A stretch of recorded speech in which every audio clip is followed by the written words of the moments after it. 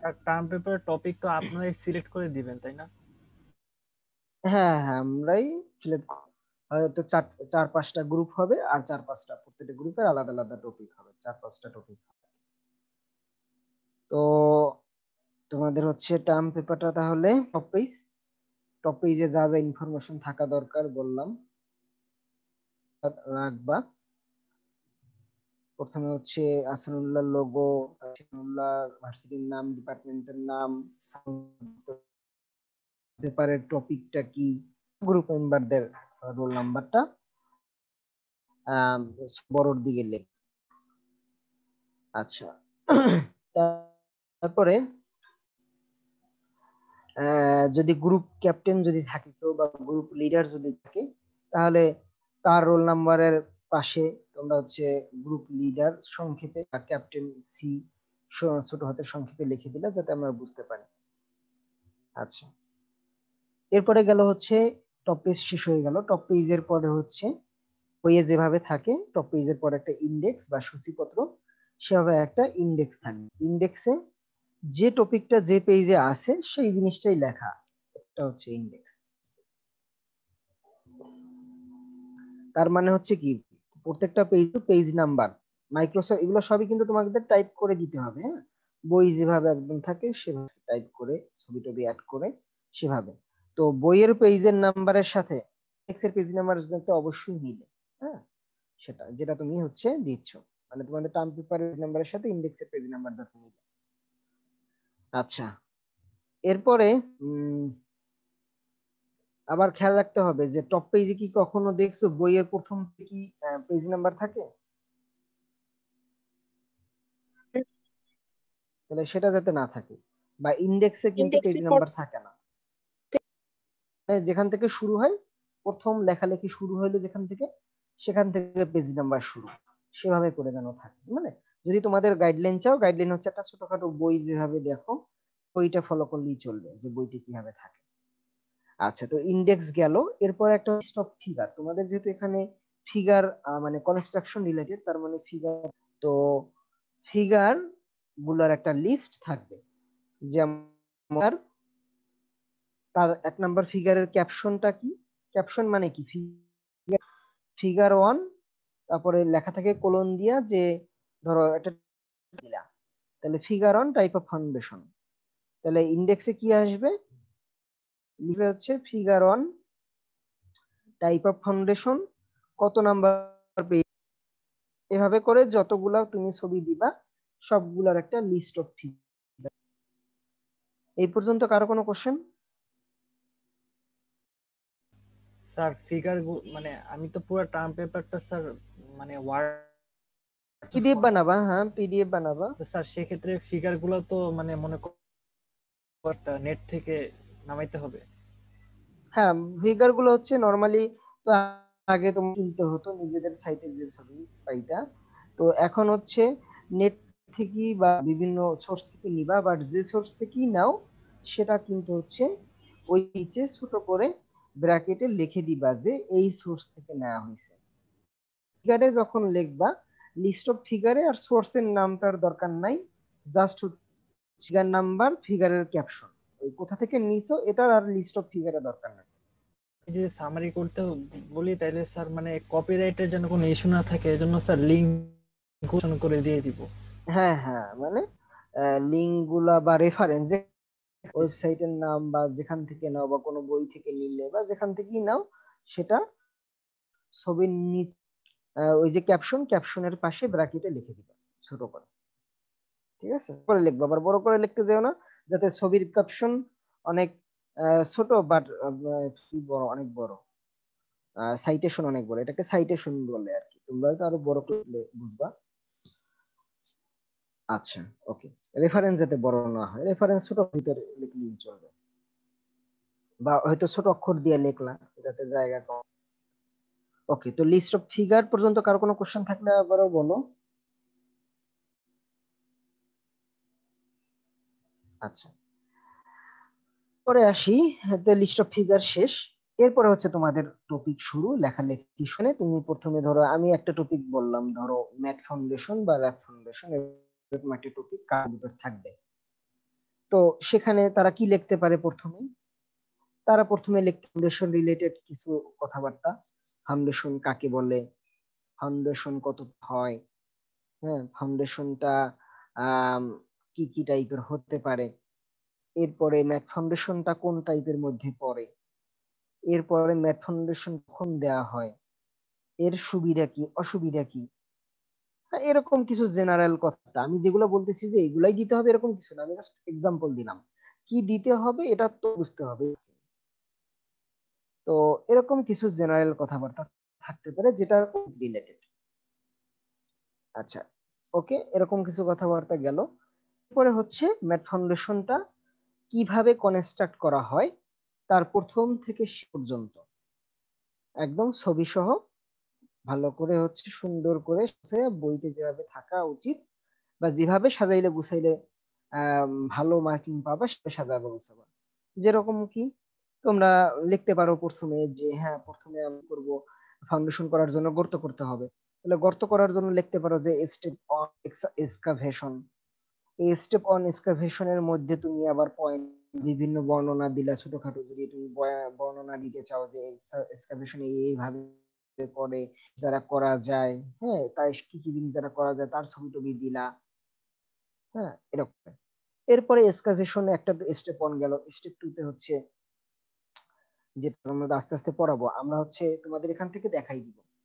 আহ যা দেখাবো সেটা হচ্ছে ধরো মোটামুটি একটা তোমাদের ধারণা বাট আরও বিস্তারিত ধারণার জন্য ইউটিউবে অনেক পেতে পারো হ্যাঁ? ভিডিও পেতে পারো মানে ই ফাউন্ডেশন কীভাবে বানায়, তার ভিডিও দেখতে পারো, অথবা এর আগের ভাইদের স্লাইডও দেখতে পারো, বা এর আগের বড় ভাইদের যারা হচ্ছে করছে, তাদের ওখানে আইডিয়া পারো বাট বললাম কি, আইডিয়া নেওয়া যাবে। যদি দেখা যায় যে কপি হুবহু বা একটা হুবহু কপি না হলে একটা পার্সেন্টেজ কপি যদি ধরা পড়ে মার্ক অনেক কমে যাবে। মানে একদম জিরো চলে আসতে পারে এবং তার ইফেক্ট অন্য জায়গায় পারে। তো, সেই জিনিসটা। লাগবা তো এভাবে করে হচ্ছে একদম শেষ পর্যন্ত মানে কাস্টিং করলা, তারপরে হচ্ছে এরপরে কি বললা কিউরিং করলা কিউরিং হয়ে গেল শক্ত রক্ত এরপরে শেষ। ফাউন্ডেশন বানানো শেষ। এরকম। তো এরকমই হচ্ছে এটা টপিকে এরকম করে একটা বই মানে টার্ম পেপারের মতো বানাবা, যেটা আমরা টুয়েলভ উইক অথবা থার্টিন উইকে জমা নিব। যে উইকে জমা ধরো আজকের ক্লাসই ধরো, এরকম চিন্তা করো যে যে কোনো একটা ক্লাস আজকের ক্লাস আজকের ক্লাসে পুরোটা ক্লাস আজকে হবে তোমাদের এই টার্ম পেপার আমরা, তোমরা কি টার্ম পেপার বানাইলে সেটা আমাদেরকে দেখা, আমরা সেখান থেকে তোমাদেরকে গ্রুপ ওয়াইজ কোশ্চেন করব। এবং ভিজুয়াল কোশ্চেন করব। আর তারপরে লাস্ট উইকে হয়তো তোমাদের পরীক্ষা। এই, আর পরীক্ষা হবে হচ্ছে দুইটা, একটা হচ্ছে মিড কুইজ আর একটা হচ্ছে ফাইনাল কুইজ মিড কুইজের সিলেবাসটা আমরা মনে হয় আগের দিন বলে দিয়েছিল বিম কলাম স্ল্যাব পর্যন্ত হবে। আর টার্ম পেপারের যে জিনিসটা টার্ম পেপারের টপিক আমরা পরেই বলে দিব আর কি। এটা মিডের প্রথম ক্লাসে বলে দিব আমরা তোমাদের। টার্ম পেপারের টপিক প্লাস হচ্ছে গ্রুপটাও তখন ভাগ করে দিব। তবে আগে তোমাদেরকে বলে রাখলাম যে কি কি করতে হবে। তো এই জিনিসগুলো শিখে রাখো হ্যাঁ? এখন টাইমটা হচ্ছে তোমাদের, তখন টাইমটা কম দেওয়া হয়েছে কিন্তু খেয়াল করো কারণ কি? যাতে এখন টাইমটায় তোমরা ওয়ার্ডে কীভাবে কীভাবে পেজ নাম্বার আনে, এই জিনিসগুলো তোমরা হয়তো অনেকে জানো না। বা কীভাবে সাজানো হয় হ্যাঁ?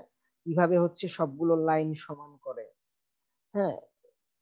এই জিনিসগুলা এই যে লেখালেখি জিনিসগুলা, এইগুলা তো হচ্ছে ছবি কীভাবে অ্যাড করে, এইগুলা যাতে তোমরা এই সময়টা দূরে শিখে নিতে পারো। তখন টাইমটা কম দেওয়া, যাতে করে তোমরা তখন হচ্ছে জাস্ট কন্টেন্টের উপরে ফোকাস রাখতে পারো যে কন্টেন্টটা কি হবে। কীভাবে সাদা তোমরা এখন কি করতে পারো? তোমাদের যে জিনিসগুলো টপিকগুলো থাকে, তার বেশিরভাগই হয়তো দেখবা মিডের আগেই পড়ানো শেষ হয়ে যাবে। এই টপিকগুলো তোমাদের দেখানো হবে। তো তোমরা তো, আমরা তোমাদের টপিকগুলো পড়াই দিলাম, তোমরা শিখে নিলা। তখন নিজে থেকে আগে থেকে একটা রাফ একটা আউটলাইন বানাবা। আউটলাইন মানে কি? যে কোন পয়েন্ট দিবা? ইন্ট্রোডাকশনের মানে ধরো ফাউন্ডেশন সংজ্ঞা দিলা বা তারপরে ফাউন্ডেশন দিলা। মানে পয়েন্টের নামগুলো আগেই একটা খসড়া লিখে ফেললা বা পুরোটা হয়তো লিখতে পারবে না বাট একটা কি করবা? পরবর্তীতে আমার ওয়ার্ডে কি করতে হবে? এটার একটা তা নিয়ে ফেললাম তাহলে পরে কি পরে তোমার ওই টাইমটা কিন্তু তোমার হচ্ছে তখন কম। এটাই আমরা দেখব যে আগে থেকে কারা কারা প্ল্যান করতেছো। আগে থেকে তোমাদের পড়ানো যে টপিক শেষ হয়ে গেল তোমরা তো তখন জেনে গেলে বা অনেক যে জিনিস আমরা হচ্ছে এখানে শিখাচ্ছি, এটা তোমরা চাইলে আগে থেকে যারা চাচ্ছ যে আমরা একটু আগে থেকে শুরু করব, তারা নিজে থেকে নেটে ঘাটাঘাটি করতে পারো, ভাইদের স্লাইড দেখতে পারো হ্যাঁ তারা কীভাবে সাজাইছে, গুছাইছে, সেগুলো দেখতে পারো। সেগুলো নিয়ে নিজে আগে একটা নিজের মতো করে পয়েন্ট বানানো। নিজের মতো করে একটা নোট করা পয়েন্ট বাই পয়েন্ট যে আমি এই পয়েন্ট দিব প্রথমে, এরপরে এই পয়েন্ট দিব, এরপরে এই পয়েন্ট দিব, এভাবে। বুঝছ? আচ্ছা।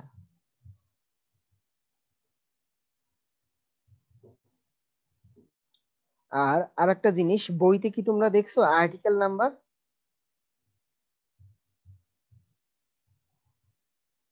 আর্টিকেল নাম্বার কি জিনিস? কেউ বলতে পারব? বইতে যে থাকে। Point one two point two three point one three point এটা কি জিনিস? বলতে পারবা স্যার আর কি দুই নম্বর সাবসেকশনগুলা? হ্যাঁ দুই নাম্বার চ্যাপ্টারের এক নাম্বার সাবসেকশন। অন বোঝাচ্ছে সেটা তাই না? তোমাদের এখানে হয়তো, তোমরা চাইলে তোমরা কীভাবে সাজাবা? এটা এক একটা, এটা তোমাদের উপরে। যে যত ভালো মার্ক পেতে চাও, সে, সেভাবে যাবা। চ্যাপ্টার ওয়াইজ সাজাইতে পারো। তো চ্যাপ্টার ওয়াইজ সাজাইলে যেন আর্টিকেল নাম্বার দিতে পারো। যে আর্টিকেল নাম্বার ধরো, আমি যদি এরকম হয়, ধরো অনের নাম দিলা, ধরো এরকম হতে পারে। যে চ্যাপ্টার অন হচ্ছে ধরো কিছু জেনারেল কথা তো চ্যাপ্টার ওয়ানের প্রথম পয়েন্টটা হইতে পারে যে ফাউন্ডেশনের ডেফিনেশন তাহলে কি যে, তাহলে ফাউন্ডেশনের ডেফিনেশনের আর্টিকেল নাম্বারটা কত হবে? ওয়ান পয়েন্ট ওয়ান তারপর ফাউন্ডেশনের হচ্ছে ধরো ওয়ান পয়েন্ট টু এখন ফান্ড টাইপের ভিতরে আবার হচ্ছে দুই ধরনের ফাউন্ডেশন আছে, তোমরা দেখবা হয়তো। শ্যালো ফাউন্ডেশন ডিপ ফাউন্ডেশন তাহলে এটার আর্টিকেল নাম্বারটা কত হবে? বলতে পারবা কেউ? দেখি। শ্যালো ফাউন্ডেশন বা ডিপ ফাউন্ডেশনের আর্টিকেল নাম্বারটা কত হবে?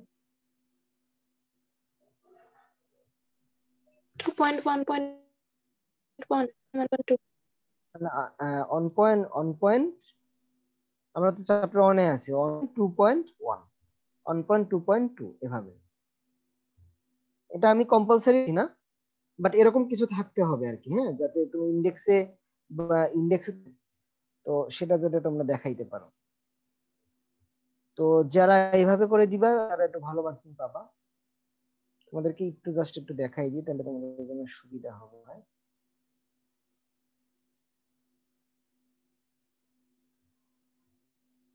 বা বই তোমরা যদি দেখো তাহলেই হবে। যে কোনো বই দেখলেই দেখবা যে এরকম। আমি তোমাদেরটাই দেখাই, ধরো চ্যাপ্টার ওয়ান গেল। যদি তোমরা কেউ চ্যাপ্টার ওয়াইজ কেউ দিতে চাও চ্যাপ্টার ওয়ান দেখতে পাচ্ছ তো তোমরা, তাই না? আচ্ছা। চ্যাপ্টার ওয়ানের নামটা দিলা, যে নামটাই দাও তোমরা, ধরো একটা নাম দিলা। ওকে এরপরে ওয়ানের মধ্যে হচ্ছে ধরো প্রথম পয়েন্টটা তোমরা লিখলা ফাউন্ডেশন কাকে এখন ফাউন্ডেশনটা এটা যেহেতু অন তাহলে এটা হবে কি? ওয়ান পয়েন্ট ওয়ান ফাউন্ডেশন এই ফাউন্ডেশন রিলেটেড হচ্ছে কথা বলা করলাম এখানে অনেক অনেক কিছু লিখলা ফাউন্ডেশনের অনেক কিছু লিখলা ওকে এরপরে ধরো হচ্ছে অন পয়েন্ট টু দুই নাম্বার পয়েন্ট অনের কি? Type of foundation type of foundation okay type of ফাউন্ডেশনের ভিতরে তুমি একটু কথাবার্তা বললা ও কথা বললা ওকে এরপরে টাইপ অফ ফাউন্ডেশনে আরেকটু বিস্তারিত দেখাইতে চাচ্ছ।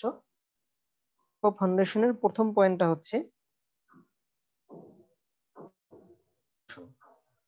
এটা টাইপ অফ ফাউন্ডেশনের মধ্যেই পড়ে। তাই আমি দিলাম হচ্ছে ওয়ান পয়েন্ট টু এর এক নাম্বার মানে হচ্ছে কি? One point two point one okay তাহলে শ্যালো ফাউন্ডেশন নিয়ে তাহলে একটু কথাবার্তা বললা ওকে আর একটা টাইপ আছে সেটা হচ্ছে আহ, সেটা হচ্ছে ফাউন্ডেশন তাহলে এটা হবে কি? ওয়ান পয়েন্ট টু এটা নিয়ে কথাবার্তা বললা কিছু। এরপরে যদি আমার ফাউন্ডেশন টাইপ শেষ তাহলে এখন কত হওয়ার কথা? এখন নতুন একটা যদি পয়েন্ট দেয় সেটা কত হবে? কারণ টাইপ অফ ফাউন্ডেশন শেষ। Point three one point three এখন কি দিতে চাচ্ছ তোমরা? ম্যাথ ফাউন্ডেশন বা যেটাই দিতে চাচ্ছ। তারপরে সেটা নিয়ে কথা বলব। এভাবে করে আর তো আশা করি তোমাদেরকে আমি বুঝাইতে পারছি। আচ্ছা তো এখন একটা কার কোনো কিছু জিজ্ঞেস করার আছে? কারণ অন্য দিন আর এটা নিয়ে কথাবার্তা হবে। বলো, যদি কোনো কিছু জিজ্ঞেস থাকে। স্যার মানে কয়দিন সময় দেওয়া হবে?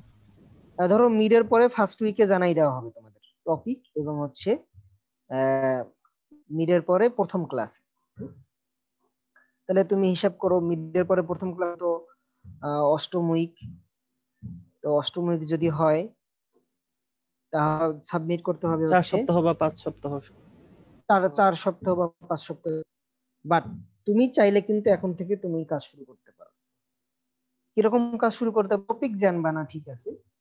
কিন্তু তুমি অন্তত লেখালেখির কাজ করে ইন্ডেক্স কীভাবে বানায় ওয়ার্ডে কীভাবে লেখে ওয়ার্ডে কীভাবে ছবি আঁকে, ছবি ড্র করে বা ছবি অ্যাড করে, এই জিনিসগুলো তুমি শিখে ফেলো এগুলো যদি তুমি শিখে ফেলতে পারো, এই জায়গায় টাইমটা কম লাগবে।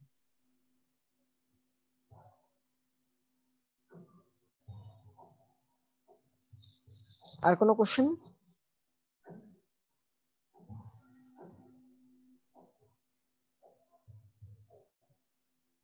বলো কেউ কিছু বলতে চাইলে বলো। স্যার হাতে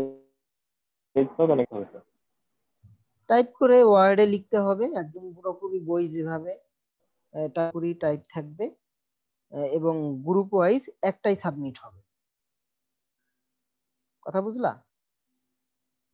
ধরো পাঁচজন মিলে একটা গ্রুপ তাহলে একটা সাবমিট পাইতে মিলে একটা সাবমিট করতে হবে। আর ওই জিনিসটাই বাট সবাইকে প্রেজেন্ট করতে হবে। বাট পিডিএফ তোমরা ওয়ার্ডে লেখালেখি করবা, ঠিক আছে? বাট আমাদের পিডিএফ যাতে চেঞ্জ না হয়ে যায় হ্যাঁ? আমরা দেখব আমাদের কাছে কি জমা হয়েছে আমরা পিডিএফটা নিব শুধু।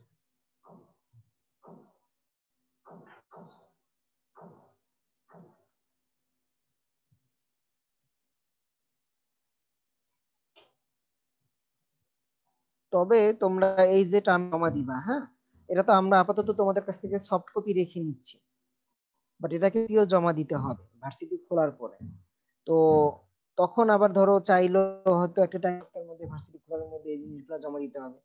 তোমাদের মনে হয় প্রথম ক্লাসে বলছিলাম, শুধু এই জিনিস জিনিস যত সাবজেক্টের আছে, সব সাবজেক্টেরই যত জিনিস তোমরা সফট কপি জমা দিতে সফট কপিরই হার্ড কপি জমা দিতে হবে।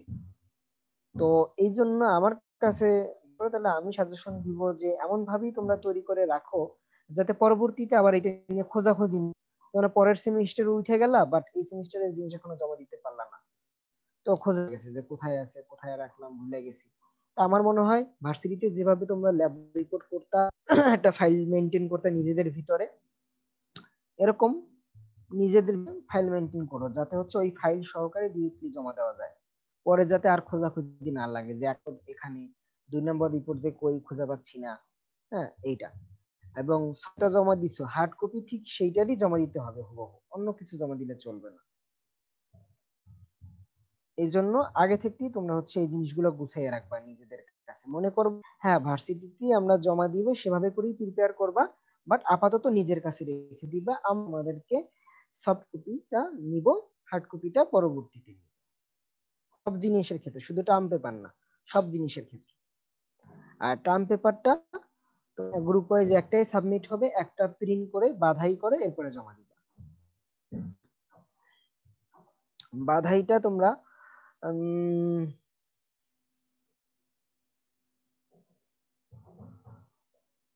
ই করো, বাধাইটা ওই যে নর্মাল যে স্পাইরাল বান্ডিং করার দরকার নাই স্পাইরাল বান্ডিং করলে ছিঁড়ে যায়। তোমরা হচ্ছে বাঁধে আর কি জাস্ট হচ্ছে ওই যে সুতা টুতা দিয়া, সেভাবেই তোমরা হচ্ছে বাঁধাই বাঁধাইটা করে নিজের কাছে রেখে দিবা তো পরে আমি হয়তো চাবো, তখন যাতে ওটা দিয়ে ওকে তো বুঝতে কথাবার্তা?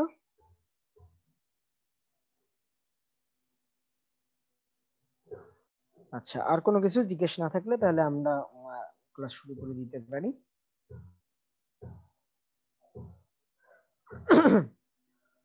ওকে তাহলে ম্যাডাম ক্লাস শুরু করে দিতে পারেন ঠিক আছে স্যার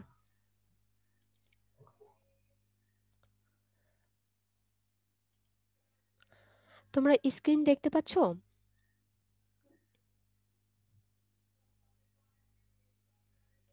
আচ্ছা ক্লাসে যারা একটু প্রেজেন্ট থাকবা, তারা একটু রেসপন্স করবা যে না হলে আদারওয়াইজ আমি বুঝতে পারব না যে, তোমরা কোথায় প্রবলেম ফেস করতেছো অথবা আমি পড়ায় যাচ্ছি, দেখা যাচ্ছে তোমরা কিছুই বুঝতেছো না, এরকম।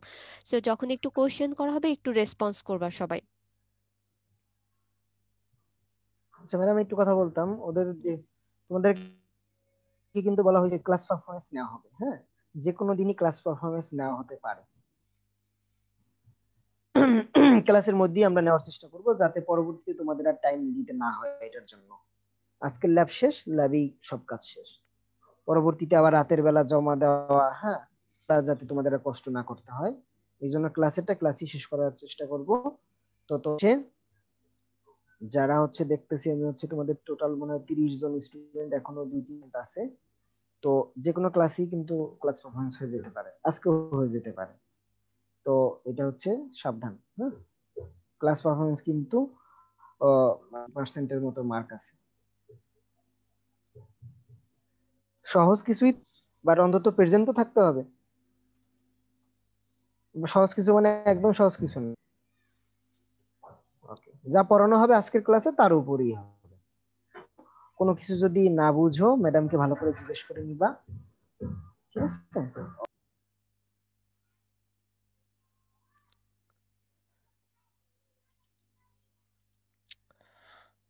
আচ্ছা তোমাদের আমি ফার্স্টে একটু ক্লাস কন্টেন্টটা দেখা নিই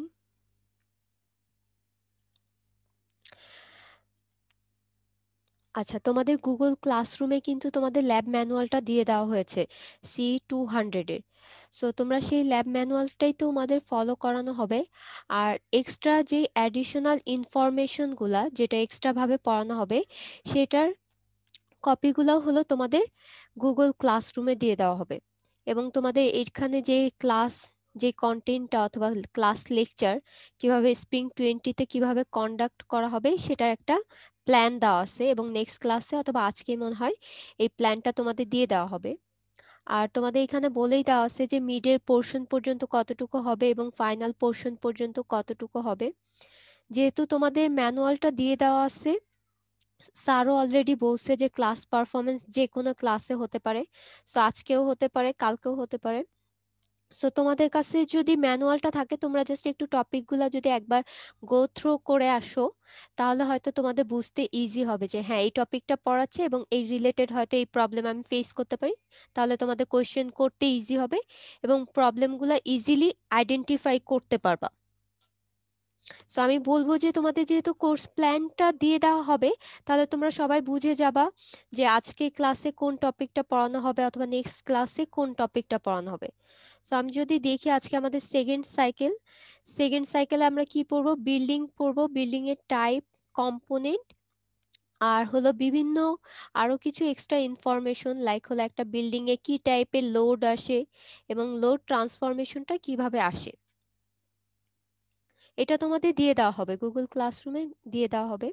আর মেইনলি তোমাদের ফলো করা হবে হলো ম্যানুয়ালটাই আমি একটু এখানে। জি জি স্যার আমি একটু বলতে চাচ্ছিলাম এখানে যে কিন্তু একটা টেন্টেটিভ প্ল্যান হ্যাঁ? আমরা চেষ্টা করব এটা ফলো করার কিন্তু এটা সবসময় আসলে হয় না। তো আর এখানে তোমরা দেখতে পাচ্ছ আমাদের মিডের সিলেবাস হচ্ছে কিন্তু বলছিলাম আপাতত আপাতত যতটুকু মনে হচ্ছে বিম কলাম স্ল্যাব পর্যন্ত তোমাদের মিডের সিলেবাস তবে আমরা যদি সময় পাই, তাহলে ব্রিকটা মিডের আগে শুরু করে দেওয়ার চেষ্টা করব। বাট সিলেবাস কলাম পর্যন্ত। আর দেওয়া আছে প্ল্যানটা এটা আমরা চেষ্টা করি ফলো করার বাট সম্ভব হয় না। তো তারপরও ম্যাডাম যেটা বলল যে হ্যাঁ অন্তত কিছুটা ধারণা পারবা কোন ক্লাসে কি পড়ানো। সেটা যদি তোমরা আগে থাকতে দেখে আসো, তাহলে তো অবশ্যই তারা ভালো একটা মার্কিং পারবা অন্তত যদি আগে থেকে কিছু দেখে আসো। ম্যাডামকে কোশ্চেন করতে পারো। থ্যাংক ইউ ম্যাম আচ্ছা। সো ফার্স্টে আমরা যদি দেখি মানে সি টু হান্ড্রেডে আমরা যে জিনিসগুলো দেখি মানে construction details as a civil engineer হিসেবে আমরা যে কনস্ট্রাকশনগুলো করি, সেই কনস্ট্রাকশনের ফুল ডিটেলিংগুলো আমরা দেখব। ডিটেলিং দ্বারা বোঝাচ্ছে যে কোনটা কম্পোনেন্ট কি। কারণ হলো আমরা এর আগ পর্যন্ত কিন্তু জাস্ট দেখে আসছি, তোমরা মেকানিক্স করে আসছো। এখন হলো একটা স্ট্রাকচারে কি কি কম্পোনেন্ট থাকে, সেই কম্পোনেন্ট গুলাতে কীভাবে লোড আসতে পারে, অথবা কীভাবে আমরা কনস্ট্রাকশন করি, সেটার ডিটেলসটা হলো আমরা জানব হলো সি টু হান্ড্রেড আমি তোমাদেরকে ফার্স্টে একটু একটা কথা বলতে যাচ্ছি। অ্যাজ এ সিভিল ইঞ্জিনিয়ার তুমি অনেকগুলা কোর্সই কিন্তু করবা। চার বছরে দেখা যাচ্ছে যে অনেকগুলাই কোর্স করবা এবং প্রত্যেকটা সাবজেক্টের কিন্তু একটা সিগনিফিকেন্স আছে। আদারওয়াইজ তোমাকে তো অহেতুক মানে এই কোর্সটা অথবা এই সাবজেক্টটা পড়ানো হচ্ছে না। সো এই যে যে সিভিল ইঞ্জিনিয়ার হিসেবে এই কোর্সের পারপাসটা কি অথবা অ্যাপ্লিকেশনটা কি, এটা জানার একটু ট্রাই করবা। যে সি টু হান্ড্রেড যে আমরা পড়লাম একদম সেমিস্টার শেষে আমরা কি জানতে পারলাম এখান থেকে? অথবা আমরা আমাদের প্র্যাকটিক্যাল লাইফে কি শিখতে পারলাম? সেটার অ্যাপ্লিকেশন যদি তুমি করতে পারো, তাহলে তুমি বুঝতে পারবা যে হ্যাঁ অ্যাজ এ সিভিল ইঞ্জিনিয়ার আমি এই কোর্সটা সম্পর্কে আমার আইডিয়া আছে এবং আমি এটার বেসিকটা আমার মেইনলি ক্লিয়ার হয়েছে সো আমি শুধু বলব না যে সি টু হান্ড্রেড যে কোনো কোর্সের ক্ষেত্রে ইভেন তোমরা ওয়ান ওয়ানে যে কোর্সগুলো করে আসছো, প্রত্যেকটারই কিন্তু একটা প্র্যাকটিক্যাল সিগনিফিকেন্স ছিল। সো ফার্স্টে এটা জানা ট্রাই করবা যে হ্যাঁ এটার প্র্যাকটিক্যাল সিগনিফিকেন্সটা কি এবং কেন এটা ইম্পর্টেন্ট আমরা সিভিল ইঞ্জিনিয়ারিং পড়ার ক্ষেত্রে? সো এটা মোটামুটি ইন্ট্রোডাক্টরি কথা আমি একটু বললাম। আর তোমাদের যেহেতু আমি ফার্স্ট চ্যাপ্টারটা শুরু করতেছি বিল্ডিং বিল্ডিং মোটামুটি জানো না, এমন কোনো স্টুডেন্ট নাই। এখানে যতজন স্টুডেন্ট আসো সবাই মোটামুটি বিল্ডিং জানো। টার্মটার সাথে ইউজ টু এখন এই বিল্ডিং এর অনেক ক্লাসিফিকেশন আছে, আবার অনেক টাইপ আছে, অনেক কম্পোনেন্ট আছে এবং অনেক টাইপের আরও ডিটেলস কথাবার্তাগুলো হলো মেইনলি আমরা জানব। সো তোমরা এখন বাসাতে যেটা আসো সেটা কিন্তু one kind of building but তোমরা যেই বাসাতে আসো সেই বিল্ডিংটা কোন টাইপের ভিতর পড়তেছে, অথবা সেই বিল্ডিং এ কি কি কম্পোনেন্টগুলো আছে সেটা কিন্তু আমরা দেখতে পারব আজকে। সো আমি যদি একটু জুম করে দেখি সো এখানে দেখো তোমাদের ফার্স্টে কি দেওয়া আছে? একটা ডেফিনেশন দেওয়া আছে। সো বিল্ডিং এর ডেফিনেশন যদি তুমি ফার্স্টে দেখতে চাও, যে বিল্ডিংটা হলো একটা স্ট্রাকচার যে স্ট্রাকচারটা কিছু কম্পোনেন্ট দিয়ে তৈরি হবে, তাহলে কম্পোনেন্টগুলা কি কি হতে পারে? একটা রুফ থাকতে পারে এবং ওয়াল থাকতে পারে। আরও কিছু কম্পোনেন্ট আছে বাট বেসিক কম্পোনেন্ট হলো একটা বিল্ডিং এ একটা রুফ থাকবে এবং এটা সারাউন্ডিংসে কিছু ওয়াল থাকবে। যেটা হলো আমাদেরকে একটা শেল্টার প্রোভাইড করে থাকে। এখন এই যে যে বিল্ডিংটা আছে, এই বিল্ডিং এর সাইজ ডিফারেন্ট হতে পারে শেপও ডিফারেন্ট হতে পারে ফাংশনও ডিফারেন্ট হতে পারে। তোমাদের বাসা বাড়িতে দেখবা যে তুমি যেই বিল্ডিং এ আসো, সেটার শেপ তোমার ফ্রেন্ডের বিল্ডিং এর শেপ কিন্তু সেম না। সো আমাদের বিল্ডিং এর শেপটাও ডিফারেন্ট হতে পারে। অনেক বিল্ডিং দেখা যাচ্ছে যে স্কোয়ার শেপের অথবা অনেক বিল্ডিং দেখা যাচ্ছে যে একটা রেক্টেঙ্গেল শেপের হতে পারে। আবার কিছু পোর্শনে দেখা যাচ্ছে যে বিল্ডিংটা আমাদের একটু আর্ক শেপেরও হয়ে থাকে, যে সামনের পোর্শনটা একটু আর্ক শেপের আর পিছের দিকে একটু রেক্টেঙ্গেল শেপের এটা তো মেইনলি শেপ গেল। এরপরে দেখা যাচ্ছে সাইজ অনেক বিল্ডিং দেখা যাচ্ছে দশতলা, বিশতলা হতে পারে, আবার অনেক দুই তিন তলাও সো সাইজের উপরও ডিপেন্ড করতেছে আমাদের বিল্ডিং এর ভ্যারিয়েশনটা আর থার্ড যে ইম্পর্টেন্ট ফ্যাক্টরটা আমরা দেখতেছি, সেটা হলো ফাংশন সব বিল্ডিং এর ফাংশন কিন্তু সেম না। তুমি যে বিল্ডিং এ থাকতেছো, সেটার ফাংশনটা হলো তোমাকে শেল্টার দিচ্ছে। তারপর অফিসে যে বিল্ডিংগুলা, সেটা হলো অফিসিয়াল পারপাজে ইউজ হচ্ছে অথবা এমপ্লয়িরা কাজ করতেছে। তারপরে দেখবা যে বিভিন্ন মেডিকেল সেন্টারে সেখানে কাজ কি? আমাদেরকে পেশেন্টদের শেল্টার দিচ্ছে অথবা পেশেন্টদের সার্ভিস দিচ্ছে। সো আমরা ডিফারেন্ট টাইপের কিন্তু ফাংশন দেখতে পাচ্ছি সাইজ দেখতে পাচ্ছি শেপ দেখতে পাচ্ছি। তাহলে এই যে যে ফ্যাক্টরগুলা চলে আসলো তাহলে এই ফ্যাক্টরের উপর ডিপেন্ড করে কি আমাদের বিল্ডিং এর টাইপও চলে আসবে।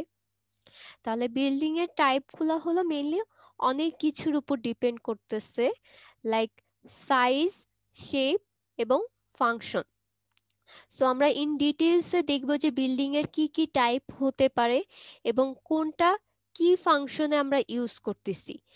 ডিফারেন্ট বিল্ডিং এর ফাংশন ডিফারেন্ট হবে, সব বিল্ডিং এর ফাংশন কিন্তু একরকম হবে না।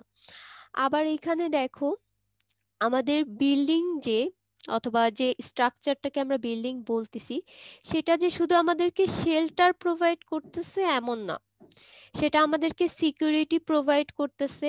আমাদের ওয়েদার ওয়েদার যে ডিজাস্টার হয় অথবা হয়ে থাকে, সেটা থেকে কিন্তু আমাদেরকে সেভ করতেছে। একদম অনেক অনেক বছর আগে মানুষজন, একদম আদিম যুগে মানুষ কি সে কোথায় বাস করতো? কেউ বলো তো একজন? পাহাড়ের গুহাতে বাস করত। দেন আস্তে আস্তে কিন্তু ট্রান্সফরমেশন হয়েছে এবং ট্রান্সফরমেশন হয়ে আমরা একটা স্ট্রাকচার কনস্ট্রাকশন করলাম এবং সেটাকে আমরা নাম দিচ্ছি হলো বিল্ডিং সো আমাদের বিল্ডিং এর পারপাসটা অনেক কিছু হতে পারে লাইক শেল্টার প্রোভাইড করতেছে ইভেন সিকিউরিটি দিচ্ছে, আমাদের থাকার একটা ব্যবস্থা করে দিচ্ছে এবং আমাদের একটা কমফোর্ট জোন ক্রিয়েট করে দিচ্ছে, যেটা বোথ আমাদের থাকার জন্য এবং আমাদের কাজের জন্য। সেই ছিল আমাদের একটা ইন্ট্রোডাকশন কথাবার্তা যে বিল্ডিং কি, কেন আমাদের বিল্ডিং প্রয়োজন, কেন আগের যুগে মানুষ গুহা থেকে এই যে যে ট্রান্সফরমেশনটা হলো, কেন এটা হলো। আর এরপরে আমরা এখন দেখব যে বিল্ডিং এর সাইজ শেপ এবং ফাংশনের উপর ডিপেন্ড করে বিভিন্ন টাইপের ক্লাসিফিকেশন এখানে দেখো তোমাদের ম্যানুয়ালে অনেকগুলা ক্লাসিফিকেশন কিন্তু দেওয়া আছে। So, আমি এই ক্লাসিফিকেশনটা একটু আলাদাভাবে অন্য আরেকটা জায়গা থেকে পড়াচ্ছি এবং আমি এটা কিন্তু তোমাদের দিয়ে দিব। আমি যদি দেখি আরেকটা জায়গায়।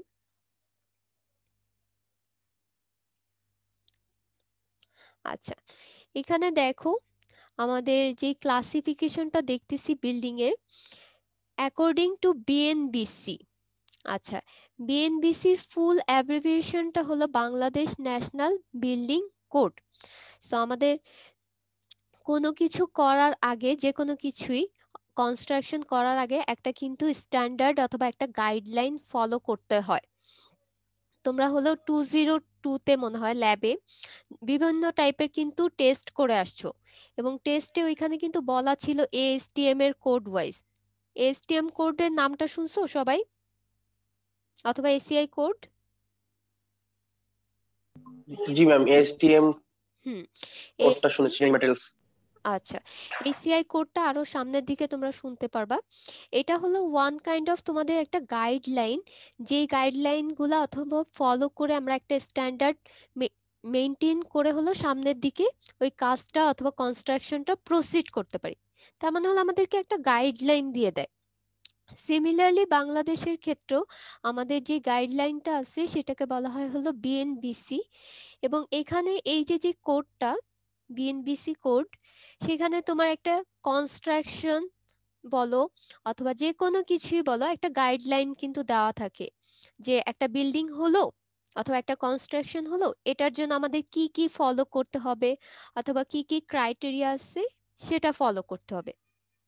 সো আমাদের এই যে যে বিএনবিসি যে কোডটা আমাদের অ্যাভেলেবেল আছে সেখানে হলো আমাদের বিল্ডিং এর ক্লাসিফিকেশন করে দিচ্ছে। এবং ক্লাসিফিকেশনটা কীভাবে করছে দেখো অকুপেন্সি এ থেকে এম পর্যন্ত আমাদের যে অ্যালফাবেটগুলো আছে, সেগুলা দিয়ে হলো আমরা করছি। এবং এখানে ডিটেলস লেখা আছে, আমি আরেকটু জুম করে দিচ্ছি। অকুপেন্সি এর ভিতর আমরা বলতেছি হলো রেসিডেন্সিয়াল বিল্ডিং বি কে আমরা বলতেছি এডুকেশনাল সি কে আমরা বলতেছি institution for care D health care E business F mercantile G industrial H storage I assembly J hazardous K garage L utility R M হলো মিসচেলেনাস আচ্ছা এখন তোমাদের হলো একটা কোশ্চেন আসতে পারে যে মানে আমি তো ডাইরেক্ট রেসিডেন্সিয়ালি লিখতে পারতাম। কেন আমি এই অ্যালফাবেটগুলা দ্বারা আইডেন্টিফাই করতেছি? এখন তুমি একটা কোডে লিখতেছো অথবা কোডে তোমার লেখা আছে যে ধরো যে আমার রেসিডেন্সিয়াল বিল্ডিং এর জন্য এই ক্রাইটেরিয়া গুলো ফলো করতে হবে। সো তুমি বারবার তো রেসিডেন্সিয়াল ওয়ার্ডটা ইউজ করলে দেখা যাচ্ছে যে আরও বেশি কনজেস্টেড হয়ে যাচ্ছে অথবা লেন্দি হয়ে যাচ্ছে। সো আমাদের সিম্বলটা এমন ভাবে ইউজ করা আছে যে কোডে দেখা যাচ্ছে যে ওরা ডাইরেক্ট বলে দেয় যে অকুপেন্সি এর জন্য হলো এই এই ক্রাইটেরিয়া অথবা অকুপেন্সি বির জন্য আমাদের এতটুকু ল্যান্ড এরিয়া প্রয়োজন অথবা এতটুকু আমরা সেফটি মেনটেন করি। সো এই যে অকুপেন্সি বি দ্বারা আমাদের বুঝে নিতে হবে যে এটা এডুকেশনাল বিল্ডিং এর ক্রাইটেরিয়া অথবা ইনফরমেশন দেওয়া আছে। এটা তোমাদের মুখস্থ করতে হবে না, তোমরা জাস্ট একটু জেনে রাখবা। হয়তো তোমাদের পরীক্ষায় এরকম টাইপের কোশ্চেন আসতে পারে যে বিল্ডিং এর টাইপগুলা লিখো। তখন এরকম ভাবে লিখে দিতে হবে যে, কোনটা কি বিল্ডিং এর ভিতর পড়তেছে। এটা একে একদম মুখস্থ রাখতে হবে না যে অকুপেন্সি এর ভিতরই রেসিডেন্সিয়াল পড়তেছে বির এডুকেশন শুধু তোমাদের এই নামগুলা মনে রাখতে হবে। এই যে, এতটুকু পোর্শন মনে রাখতে হবে। এটাই হলো মেইনলি বিল্ডিং এর টাইপ যে রেসিডেন্সিয়াল বিল্ডিং হতে পারে এডুকেশনাল বিল্ডিং হতে পারে হেলথ কেয়ার বিজনেস এরকম হতে পারে। আর বিএনবিসি কোডটা তাদের সুবিধার জন্য অথবা আমাদেরকে বোঝানোর জন্য তারা হলো বিভিন্ন সিম্বল ইউজ করে সেটাকে আইডেন্টিফাই করছে। আমরা যদি আরও একটু ডিটেলসে যাই বিল্ডিং এর ক্লাসিফিকেশনে দেখো বিএনবিসি কোডে কি করছে? অকুপেন্সি এর ভিতর আমরা কি বলছিলাম? রেসিডেন্সিয়াল বিল্ডিং এই যে যে রেসিডেন্সিয়াল বিল্ডিং এটাকে আবার সাব ক্লাসিফিকেশন করছে কিন্তু। A one A two A three A four A five এখন আমি তোমাদেরকে বললাম, একটু আগেই কিন্তু বলছি যে তোমরা যেখানে থাকো, আপাতত যেখানে থাকতেছো, সেটা কিন্তু তোমাদের বাসাকে আমরা বলতেছি রেসিডেন্সিয়াল বিল্ডিং এখন এই যে যে রেসিডেন্সিয়াল বিল্ডিংটা এটা সিঙ্গেল ফ্যামিলির জন্য হতে পারে ডাবল ফ্যামিলির জন্য হতে পারে, বিভিন্ন ফ্ল্যাট টাইপের হতে পারে অথবা অ্যাপার্টমেন্ট হতে পারে ডরমেটরি হতে পারে মেস হতে পারে অথবা হোটেল হতে পারে। এই যে যে mess hotel dormitory flat apartment এই সব কিছু তোমাদের চলে যাবে হলো রেসিডেন্সিয়াল বিল্ডিং এ সো তোমরা এখন পর্যন্ত যেগুলা দেখে আসছো লাইক হলো মেস এখন তোমরা তোমাদেরকে যদি জিজ্ঞেস করে যে মেস কোন টাইপের বিল্ডিং এর ভিতর পড়তেছে, তখন আমরা কিন্তু বলতে পারব যে এটা রেসিডেন্সিয়াল বিল্ডিং এর টাইপের ভিতর পড়তেছে। সিমিলারলি একটু দেখো অকুপেন্সি বির ভিতর কি আছে? এডুকেশনাল ফ্যাসিলিটিস সো এডুকেশন ফ্যাসিলিটিসকে ওরা আবার তিনটা ক্লাসিফিকেশনে করছে। একটা হায়ার সেকেন্ডারি আর একটা অ্যাবভ সেকেন্ডারি লেভেল আবার আরেকটা প্রি স্কুল ফ্যাসিলিটিস সো কোনটা কিসের উপর পড়বে সেটা তোমাদের আর ইন ডিটেলস জানতে হবে না। তোমরা এখানে জাস্ট এতটুকু জেনে রাখো যে বিভিন্ন স্কুল কলেজ ভার্সিটি যেগুলো আছে, সেগুলো সব হলো আমাদের এডুকেশনাল বিল্ডিং এর ভিতর পড়ে যাচ্ছে। থার্ড যেটা আছে সেটা কি দেখতে পাচ্ছি আমরা? ইনস্টিটিউশন ফর কেয়ার সো এখানে দেখা যাচ্ছে আমাদের অনেক প্রিম্যাচিউর অথবা অটিস্টিক কোনো চিলড্রেন থাকতে পারে, অথবা কোনো প্রবলেম থাকতে পারে এরকম কোনো বাচ্চাদের জন্য অথবা কেয়ারের জন্য। আমরা যে ইনস্টিটিউশনগুলা ইউজ করি, সেগুলাকেই বলা হয় হলো আমাদের ইনস্টিটিউশন ফর কেয়ার। এরপরে যদি আমরা একটু দেখি, হেলথ কেয়ার, হেলথ কেয়ারের ভিতর কিন্তু আমাদের হসপিটাল চলে আসতেছে। এখন এই হসপিটালকে আবার ওরা ক্লাসিফাই করে দিছে।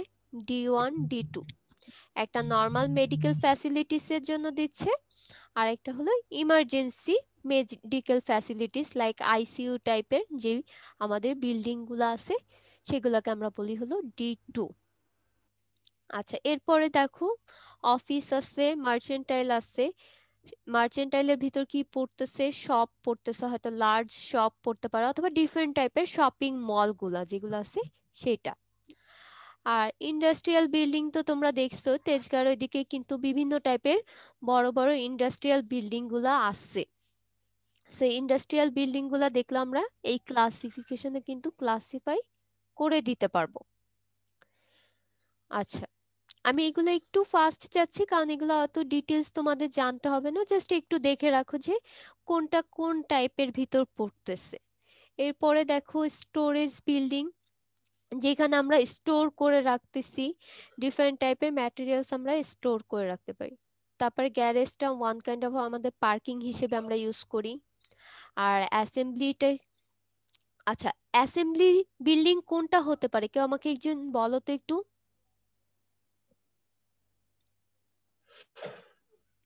কি মনে হয়? হুম বলো। হ্যাঁ যে কোনো ভিতরে জায়গাটা হলো হুম বড় একটা জায়গা অনেক একজন মানুষ চালাতে পারবে।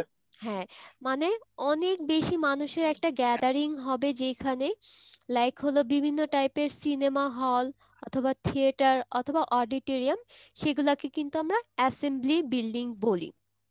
এরপরে দেখা যাচ্ছে যে হাজারডাস স্টেডিয়াম হ্যাঁ স্টেডিয়ামও স্টেডিয়ামও কিন্তু one kind of assembly building কারণ এখানে দেখা যাচ্ছে যে অনেক মানুষের গ্যাদারিংটা হচ্ছে। এরপরে দেখো হ্যাজার্ডাস বিল্ডিং আমাদের অনেক সময় বিভিন্ন কেমিক্যাল রিয়াকশনের জন্য লাইক অথবা বিভিন্ন রিসার্চ অথবা গবেষণার জন্য কিন্তু অনেক বড় বড় বিল্ডিং রিজার্ভ থাকে। অথবা আমরা প্রিজার্ভ করে রাখি যে এই বিল্ডিংটা আমরা এই পারপাজে ইউজ করব। কারণ এটা তো নর্মালি যে কোনো রেসিডেন্সিয়াল বিল্ডিং এর আশেপাশে হতে পারে না। একটা ক্যাপিটাল অথবা একটা সিটি থেকে একটা সার্টিন ডিস্টেন্সে এবং শহর থেকে অনেক দূরে এই টাইপের হ্যাজার্ডাস বিল্ডিংগুলো হয়। যেখানে হলো আমরা বিভিন্ন কেমিক্যাল আমরা স্টোর করে রাখতে পারি। এরপরে আরও কিছু আছে। গার্মেন্টস গার্মেন্টসগুলা কি যে এই টাইপ না না গার্মেন্টস কিন্তু এই টাইপের বিল্ডিং এর ভিতর পড়তেছে না। গার্মেন্টস এ কিন্তু সবকিছু তুমি কিন্তু হ্যাজার্ডাস টাইপের বিল্ডিং না। হ্যাজার্ডাস টাইপের বিল্ডিংটা একটু দেখো। যেখানে আমাদের এক্সপ্লোশন হওয়ার পসিবিলিটিস আছে লাইক বিভিন্ন পারমাণবিক বোমা থাকতে পারে অথবা কেমিক্যাল রিয়াকশনের জন্য যারা ফার্মেসিতে কাজ করে, তাদের যে রিয়াকশন অথবা কেমিস্ট যারা আছে, তাদের রিয়াকশন অথবা গবেষণার জন্য একটা আলাদা টাইপেরই বিল্ডিং থাকে। আবার দেখা যাচ্ছে যে বিভিন্ন রেডিয়েশন হতে পারে সো রেডিয়াম অথবা আরও কোনো কিছুর রিয়াকশন যাতে হয় এরকম টাইপের গবেষণার জন্য আমরা ইউজ করতে পারি সেগুলো হলো কিন্তু হ্যাজার্ডাস বিল্ডিং এর ভিতর পড়তেছে। আচ্ছা গার্মেন্টস কোন বিল্ডিং এর ভিতর পড়বে? আমাকে একটু বলো তো কে একজন বলছো কিন্তু গার্মেন্টস ওয়ার্ডটা ইউজ করছ? ইন্ডাস্ট্রিয়াল ইন্ডাস্ট্রিয়াল বিল্ডিং এর ভিতর পড়ে যাবে কিন্তু গার্মেন্টস গার্মেন্টসটার হ্যাজার্ডাস বিল্ডিং এর ভিতর পড়তেছে। না সো এই হলো মোটামুটি আমরা বিল্ডিং এর টাইপগুলা দেখলাম। এখন আমাকে কেউ একজন একটু বলো তো আমাদের এই যে বিল্ডিংগুলার টাইপগুলা জানার রিজনটা কি? বিল্ডিং টাইপ জেনে আমাদের কি বেনিফিট আমরা হতে পারি? আলাদা অনুযায়ী ডিজাইন করতে করতে পারব হ্যাঁ এক্স্যাক্টলি বিল্ডিং এর আমরা তো যে কনস্ট্রাকশনের ডিটেইলগুলো পড়তেছি। আচ্ছা। এই এক্স্যাক্টলি তোমাদের অ্যান্সারটা ঠিক হয়েছে আমরা এই যে যে বিল্ডিংগুলার ফার্স্টে কিন্তু আমরা বলে আসছিলাম একটা টার্ম বলছিলাম সাইজ সেকেন্ড আরেকটা টার্ম বলছিলাম শেপ থার্ড আরেকটা টার্ম বলছিলাম ফাংশন আচ্ছা আমি শর্ট ফর্মে লিখছি এটা আচ্ছা পুরোটাই লিখে দিই। এখন দেখো, আমাদের রেসিডেন্সিয়াল বিল্ডিং এর যেই সাইজটা হবে, আমাদের ইন্ডাস্ট্রিয়াল বিল্ডিং এর সাইজটা কিন্তু সেম হবে না। আবার আমাদের নর্মালি দেখো এডুকেশনাল বিল্ডিং এর আমাদের শেপটা যে টাইপের হবে, আমাদের হসপিটালের বিল্ডিং এর শেপটা সেম টাইপের হবে না কিন্তু, অথবা অডিটোরিয়ামের যে শেপটা বিল্ডিং এর সেম হচ্ছে না। সিমিলারলি আমি একটা রেসিডেন্সিয়াল পারপাজের জন্য একটা বিল্ডিং কনস্ট্রাক্ট করে আমি হাজার্ডাস বিল্ডিং এর ইনস্ট্রুমেন্টগুলা অথবা যেই জিনিসগুলো ইকুইপমেন্টগুলা রাখতেছে, লাগে, সেগুলা কিন্তু আমরা রেসিডেন্সিয়াল বিল্ডিং এ রাখতে পারব না। সো বিল্ডিং এর ফাংশনও আলাদা শেপও আলাদা সাইজও আলাদা হচ্ছে। সো এই কারণে আমাদের হলো বিল্ডিং এর টাইপগুলা জানতে হবে এবং কোনটার ফাংশন কি সেটা আমাদের জানতে হবে। আদারওয়াইজ দেখা যাচ্ছে যে আমি রেসিডেন্সিয়াল বিল্ডিং এ আমি একটা স্কুল খুলে নিতে পারব না অথবা একটা হসপিটাল খুলে নিতে পারব না। সিমিলারলি আমরা যখন এটা ডিজাইন করি দেখা যাচ্ছে যে রেসিডেন্সিয়াল বিল্ডিং এ আমি যতটুকু সেফটি মেনটেন করতেছি হ্যাজার্ডাস বিল্ডিং এ তার থেকে আরও বেশি সেফটি মেনটেন করা লাগতে পারে। অথবা বিভিন্ন হসপিটাল যেগুলো আছে সেগুলোতে আরও বেশি সেফটি মেনটেন করা লাগতে পারে। এই যে যে বিএনবিসি কোডে তোমার ডিজাইনটা বলে দেওয়া থাকে। ডিজাইন কীভাবে করতে হবে সেটা বলে দেওয়া থাকে। এবং ডিজাইনটা তখন ওরা এই সিম্বল আকারে বলে দেয় যে হ্যাঁ আমার এই রেসিডেন্সিয়াল এ ওয়ানের জন্য আমার এই ডিজাইন ক্রাইটেরিয়া ফলো করতে হবে। অথবা বি ওয়ান অথবা সি ওয়ানের জন্য আমার এই ক্রাইটেরিয়া ফলো করতে হবে। সো আমরা অত ডিটেলসে যাব না। সো আমরা এতটুকু জেনে রাখি যে আমাদের বিল্ডিং এর সাইজ শেপ এবং ফাংশনের উপর ডিপেন্ড করতেছে হলো আমাদের বিল্ডিং এর সাইজ এবং শেপ দ্যাটস ওয়াই আমাদের বিল্ডিং এর টাইপ অথবা ক্লাসিফিকেশনটা জানতে হবে। তাহলে এতটুকু তো আমরা বুঝতে পারছি তাই না?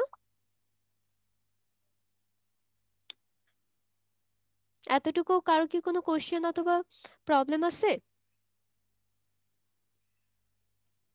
আমার জানা মতে থাকার কথা না এটা একদম ছোট জিনিস আমরা জাস্ট দেখলাম যে বিল্ডিং এর টাইপগুলা। নো ম্যাম আচ্ছা।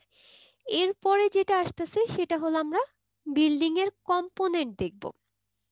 বেসিক্যালি বিল্ডিং এর দুইটা কম্পোনেন্ট আছে। তুমি একটু দেখবা যে একটা বিল্ডিং যখন শুরু হচ্ছে, শুরু করার কিছু আগে কিন্তু মাটির নিচে কিন্তু কিছুটা মাটি খনন করা হয়। তোমাদের আশেপাশে যদি কোনো একটা স্ট্রাকচার কনস্ট্রাকশন দেখো একদম শুরু থেকে, দেখবা যে ফার্স্টে কি মাটি ওরা কাটে। মাটি কাটার পরে একটা ফাউন্ডেশন বসায়। তারপরে আবার মাটি দ্বারা ফিল আপ করে দেন তারপর আমাদের বিল্ডিং এর ওয়াল অথবা গাঁথনি দেওয়া শুরু করে। আচ্ছা। পাইলিং হ্যাঁ পাইলিং করতে পারে। পাইলিংটা ওয়ান কাইন্ড অফ ফাউন্ডেশনের ভিতর চলে যাচ্ছে। এখন পাইলিং জিনিসটা কি? সেটা আমি তোমাদেরকে পরের উইকে অথবা পরের ক্লাসে তোমরা দেখবা। এটা নিয়ে একদম ভাস্ট একটা নলেজ আমরা গেইন করব এই কোর্সে পাইলিংটা করা হয়। হ্যাঁ পাইলিংটা আমরা সামনে দেখব। সো আমি যেটা বলতে চাচ্ছিলাম যে, তুমি যদি দেখো এই যে যে মাটি, এটা ধরো মাটি, এখান থেকে তোমার বিল্ডিং স্ট্রাকচারটা শুরু হয়েছে এবং মাটির নিচে হলো তোমার কিছু পোর্শন তুমি এক্সকাভেট করছিলা, তারপর হলো মাটি দ্বারা ফিল আপ করে দিছিলা। সো এই যে যে স্ট্রাকচারটা আছে, মাটির উপরের যে পোর্শনটা অথবা গ্রাউন্ড লেভেলের উপরের যে পোর্শনটা সেটাকে আমরা বলি হলো সুপার স্ট্রাকচার। আর মাটির নিচে অথবা গ্রাউন্ড লেভেলের নিচে একটা বিল্ডিং অথবা স্ট্রাকচারের যেই যেই কম্পোনেন্টগুলো অথবা যতটুকু পোর্শন থাকে সেটাকে আমাদের বলা হয় হলো সাব স্ট্রাকচার তাহলে একটু ভালো মতো দেখো, এটা একটু ইম্পর্টেন্ট। কারণ অনেক সময় তোমাদের ভাইভাতে কোশ্চেন করা হয় যে একটা বিল্ডিং এর কয়টা কম্পোনেন্ট অথবা বিল্ডিং এর বেসিক কম্পোনেন্ট কি? তখন তোমরাও দেখা যাচ্ছে এই দুইটা না বলে বলা শুরু করো যে বিম কলাম স্ল্যাব এগুলা। বাট যখনই তোমাদেরকে জিজ্ঞেস করবে বেসিক কম্পোনেন্ট কি, তখন তুমি ফার্স্টে বলবা যে সাব স্ট্রাকচার আর সুপার স্ট্রাকচার আমি যদি একটা ফিগার দেখাই তাহলে হয়তো একটু বুঝতে পারবা। দাঁড়াও। ম্যাম হুম বলো। বলো। ম্যাম বেসমেন্ট কি সাবস্ট্রাকচারের মধ্যে পড়ে? কোনটা? বেসমেন্ট বেসমেন্ট আচ্ছা বেসমেন্টটা আমি একটু একটু পরে বলতেছি দেখো। বেসমেন্ট কিসের উপর পড়ে? তুমি নিজেই ক্লিয়ার হয়ে যাবা। আচ্ছা। এই যে দেখো এই যে যে আমাদের বিল্ডিংটা আছে পুরাটা একটা বিল্ডিং এবং বিল্ডিং এর গ্রাউন্ড লেভেলটা হলো এটা। এটা গ্রাউন্ড লেভেল এটা কিছু পোর্শন নিচে নেমে গেছে ওটা কোনো সমস্যা নয়, ওটা আমরা পরে দেখতেছি। এই যে যে বিল্ডিং এর একদম নিচে কিছু ফাউন্ডেশন থাকে। যে ফাউন্ডেশনটাকে অথবা একটা যে কম্পোনেন্ট আমি ফার্স্টে কম্পোনেন্ট বলি, অথবা এলিমেন্ট যেটা হলো আমাদের স্ট্রাকচারে লোড ক্যারি করে সয়েলে নিয়ে যাচ্ছে। সো প্লিন্থ লেভেল অথবা গ্রাউন্ড লেভেলের নিচে যেই পোর্শনটা থাকবে, সেটাকে আমরা বলতেছি হলো আমাদের সুপার স্ট্রাকচার আর সাব স্ট্রাকচারটা কি হয়ে যাচ্ছে? আমাদের প্লিন্থ লেভেলের নিচে যা কিছু থাকতেছে, সেটাকে আমরা বলতেছি হলো সাব স্ট্রাকচার এবং এই সাব স্ট্রাকচারের ভিতর অনেক সময় ফাউন্ডেশন থাকতে পারে, অথবা আমাদের স্ট্রাকচারেরও কিছু এলিমেন্ট চলে আসতে পারে। তুমি দেখো এই যে যে প্লিন্ট লেভেল, যেখান থেকে হলো তোমার বিল্ডিংটা একদম শুরু হচ্ছে অথবা তুমি যেখানে থাকার কাজটা স্টার্ট করতেছো। তাহলে দেখো বেসমেন্টটা কি? তাহলে নিচে চলে যাচ্ছে। তাহলে সেটাও সুপার স্ট্রাকচার বাট সেটার কিছু পোর্শন কিন্তু আমাদের সাব স্ট্রাকচারের ভিতর ইনক্লুডেড হয়ে যাচ্ছে। সো তোমাদের মেইনলি বেসিক্যালি এইটুকু মাথায় রাখবা যে আমাদের প্লিন্ট লেভেলের উপরে একটা স্ট্রাকচারের যতগুলা কম্পোনেন্ট আছে সবকিছুকে আমরা বলব হলো সুপার স্ট্রাকচার সবকিছুকে আমরা সুপার স্ট্রাকচার বলব। সেটার ভিতর হতে পারে বিম হতে পারে, কলাম হতে পারে স্ল্যাব হতে পারে রুফ হতে পারে হোয়াট আর প্লিন্থ লেভেলের নিচে যাই থাকবে না কেন, সেটাকে আমরা বলব হলো সাব স্ট্রাকচার এবং সেটার ভিতর আমাদের ফাউন্ডেশন হতে পারে, তারপরে ব্রিজের ক্ষেত্রে অনেক সময় দেখা যাচ্ছে যে পিয়ার হতে পারে, কলাম হতে পারে বাট সেগুলো আমাদের সাব স্ট্রাকচারের ভিতর চলে যাচ্ছে। এবং তোমাদের এখানে দেখো ডেফিনেশনেই লেখা আছে যে আমাদের লোয়ার পোর্শন বিল্ডিং এর যেটা গ্রাউন্ড লেভেলের নিচে থাকতেছে সেটাকে আমরা বলতেছি হলো সাব স্ট্রাকচার সাব স্ট্রাকচারটাকে অনেক সময় আবার ফাউন্ডেশন বলে বাট এটা শুধু ফাউন্ডেশন না কিন্তু। ফাউন্ডেশন ব্যতীত আরও অনেক কিছু থাকতে পারে। ব্রিজের ক্ষেত্রে দেখবা যে একটা পিয়ার বসানো হয় অথবা একটা কলাম টাইপের বসানো হয়, তখন সেগুলোকে বলা হয় হলো সাব স্ট্রাকচার আচ্ছা এই সাব স্ট্রাকচারের মেইন পারপাসটা কি? মেইন পারপাসটা যদি তুমি এই ফিগারটা দেখো, আমার এই বিল্ডিং এর কি একটা লোড আসবে? লোডটা সে ফাউন্ডেশনে দিয়ে দিবে। এই যে যে লোডটা লোডটা ফাউন্ডেশনে দিবে ফাউন্ডেশন করবে কি? আমার যে সয়েলটা আছে সেখানে হলো ট্রান্সফার করে দিবে। তাহলে ফাউন্ডেশনটা অথবা সাবস্ট্রাকচারটা একটা মিডিয়া হিসেবে কাজ করতেছে, যেই মিডিয়াটা হলো আমাদের সুপার স্ট্রাকচারে লোড ট্রান্সমিট করে দিচ্ছে অথবা ট্রান্সফার করে দিচ্ছে। এখানে এই কথাটাই লেখা আছে, দেখো। এই যে, কোথায় ট্রান্সফার করে দিচ্ছে? সয়েলে। এবং কিসের লোড ট্রান্সফার করতেছে? সুপার স্ট্রাকচারের লোড ট্রান্সফার করতেছে। সো সাব স্ট্রাকচারের ভিতর আবার অনেক সময় ফাউন্ডেশন থাকতে পারে। ফাউন্ডেশন ছাড়াও কিন্তু আরও কিছু কম্পোনেন্ট আছে। সো আমি বারবার বলতেছি, যেহেতু আমরা এখানে বিল্ডিং নিয়ে আলোচনা করতেছি সো বিল্ডিং এর সাব স্ট্রাকচারটাই হলো ফাউন্ডেশন বাট এটা যদি অন্য কোনো স্ট্রাকচার হতো, তাহলে আমাদের সাব স্ট্রাকচারের ভিতর ফাউন্ডেশন ব্যতীত আরও অনেক কিছু আসতে পারতো।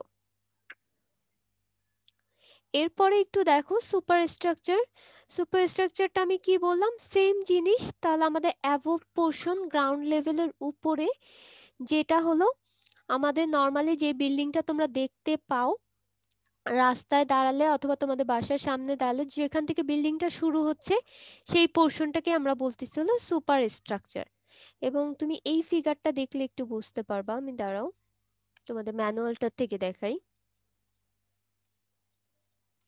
এই যে, এটা দেখো। এই যে যে এতটুকু পোর্শন পর্যন্ত আছে, এই যে এখান থেকে, একটু ভালো মতো বোঝার ট্রাই করো। এই যে এতটুকু পোর্শন যেটা আছে, সেটাকে আমরা বলব হলো সুপার স্ট্রাকচার আর এটার নিচে যা আছে, এই যে ফাউন্ডেশন যেগুলো আছে, সেটাকে আমরা বলতেছি হলো সাব স্ট্রাকচার এখন দেখো এই সুপার স্ট্রাকচারের ভিতর কি আছে? আমাদের একটা রুফ আছে। বিভিন্ন কলাম আছে, বিম আছে, আবার স্ল্যাব আছে। এবং এই লোডটা আস্তে আস্তে হলো আমাদের ফাউন্ডেশনে ট্রান্সফার করে দিচ্ছে। দেন ফাউন্ডেশনটা এখানে যে সয়েলটা আছে, সেই সয়েলে আমাদের ডিজিপিয়েট করে দিচ্ছে, অথবা ইউনিফর্মলি ডিস্ট্রিবিউট করে দিচ্ছে। তাহলে আমরা দুইটা জিনিস দেখতে পেলাম, যে বেসিক কম্পোনেন্ট সাবস্ট্রাকচার আর সুপার স্ট্রাকচার এখন আসি সুপার স্ট্রাকচারের আবার কিছু কম্পোনেন্ট আছে। দেখো সুপার স্ট্রাকচারের ভিতর কি কি কম্পোনেন্ট ফাউন্ডেশন তো সাবস্ট্রাকচারের ভিতরেই যাচ্ছে। বেসিক্যালি হলো টোটাল এই কয়টা কম্পোনেন্ট নিয়ে হলো বিল্ডিং তৈরি হয়। ফাউন্ডেশনটা সুপার সাবস্ট্রাকচারে যাচ্ছে। এরপরে কি থাকতে পারে? ওয়াল থাকতে পারে বিল্ডিং এ অথবা কলাম থাকতে পারে, সেটা যাচ্ছে হলো সুপারে তারপরে ফ্লোর থাকতে পারে রুফ থাকতে পারে। আচ্ছা ফ্লোর আর রুফ কিছুটা সিমিলিয়ার সিমিলিয়ার আমি এই কারণে বলতেছি, তুমি যেই ফ্লোরে দাঁড়ায় থাকবা অথবা যে স্টোরিতে দাঁড়ায় থাকবা, সেটা হয়ে যাচ্ছে তোমার ফ্লোর এবং তোমার মাথার উপরে যা থাকবে সেটা হয়ে যাচ্ছে রুফ সিমিলারলি ধরো যে তুমি এই বিল্ডিংটার ক্ষেত্রে চিন্তা করো, এটা তুমি এখানে দাঁড়ায় আসছো এখানে তুমি দাঁড়ায় আসছো তো যেখানে তুমি দাঁড়ায় আছো সেটা হয়ে যাচ্ছে হলো তোমার ফ্লোর এবং তার উপরের যেই স্ল্যাবটা আছে সেটা হয়ে যাচ্ছে তোমার রুফ এই স্টোরির জন্য। সিমিলারলি তুমি যদি এই স্টোরিতে দাঁড়ায় থাকো, এটা হয়ে যাবে তোমার ফ্লোর এবং তার উপরেরটা হয়ে যাবে হলো রুফ তাহলে ফ্লোর আর রুফ দুইটাই সিমিলিয়ার এবং দুইটাই আমরা স্ল্যাব হিসেবে এটাকে নাম দিতে পারি। জাস্ট তোমার দাঁড়ানোর উপর অথবা তুমি কোন ফ্লোরে অথবা কোন স্টোরিতে স্টে করতেছো সেটার উপর ডিপেন্ড করে আমরা এটার ভ্যারিয়েশনটা অথবা ডিফারেন্সিয়েটটা করে থাকি যে কোনটাকে আমরা ফ্লোর বলি অথবা কোনটাকে রুফ বলি। এরপরে বিল্ডিং এ দেখবা যে তোমার বাসা বাড়িতে অথবা স্ট্রাকচারে ডোর থাকতে পারে উইন্ডো থাকতে পারে অথবা any kind of opening like balcony অথবা বারান্দা এটা থাকতে পারে। এরপরে যেটা থাকতেছে স্টেয়ার লিফট অথবা র্যাম্প থাকতে পারে। যেটা হলো আমাদের একটা স্টোরি থেকে আরেকটা স্টোরিতে আমাদেরকে ক্যারি করে নিয়ে যাচ্ছে। এরপরে যেটা আসতেছে সেটা হলো বিল্ডিং ফার্নিশেস এটার ভিতর আমাদের কি পড়তেছে বলো তো? বিল্ডিং ফার্নিশের ভিতর?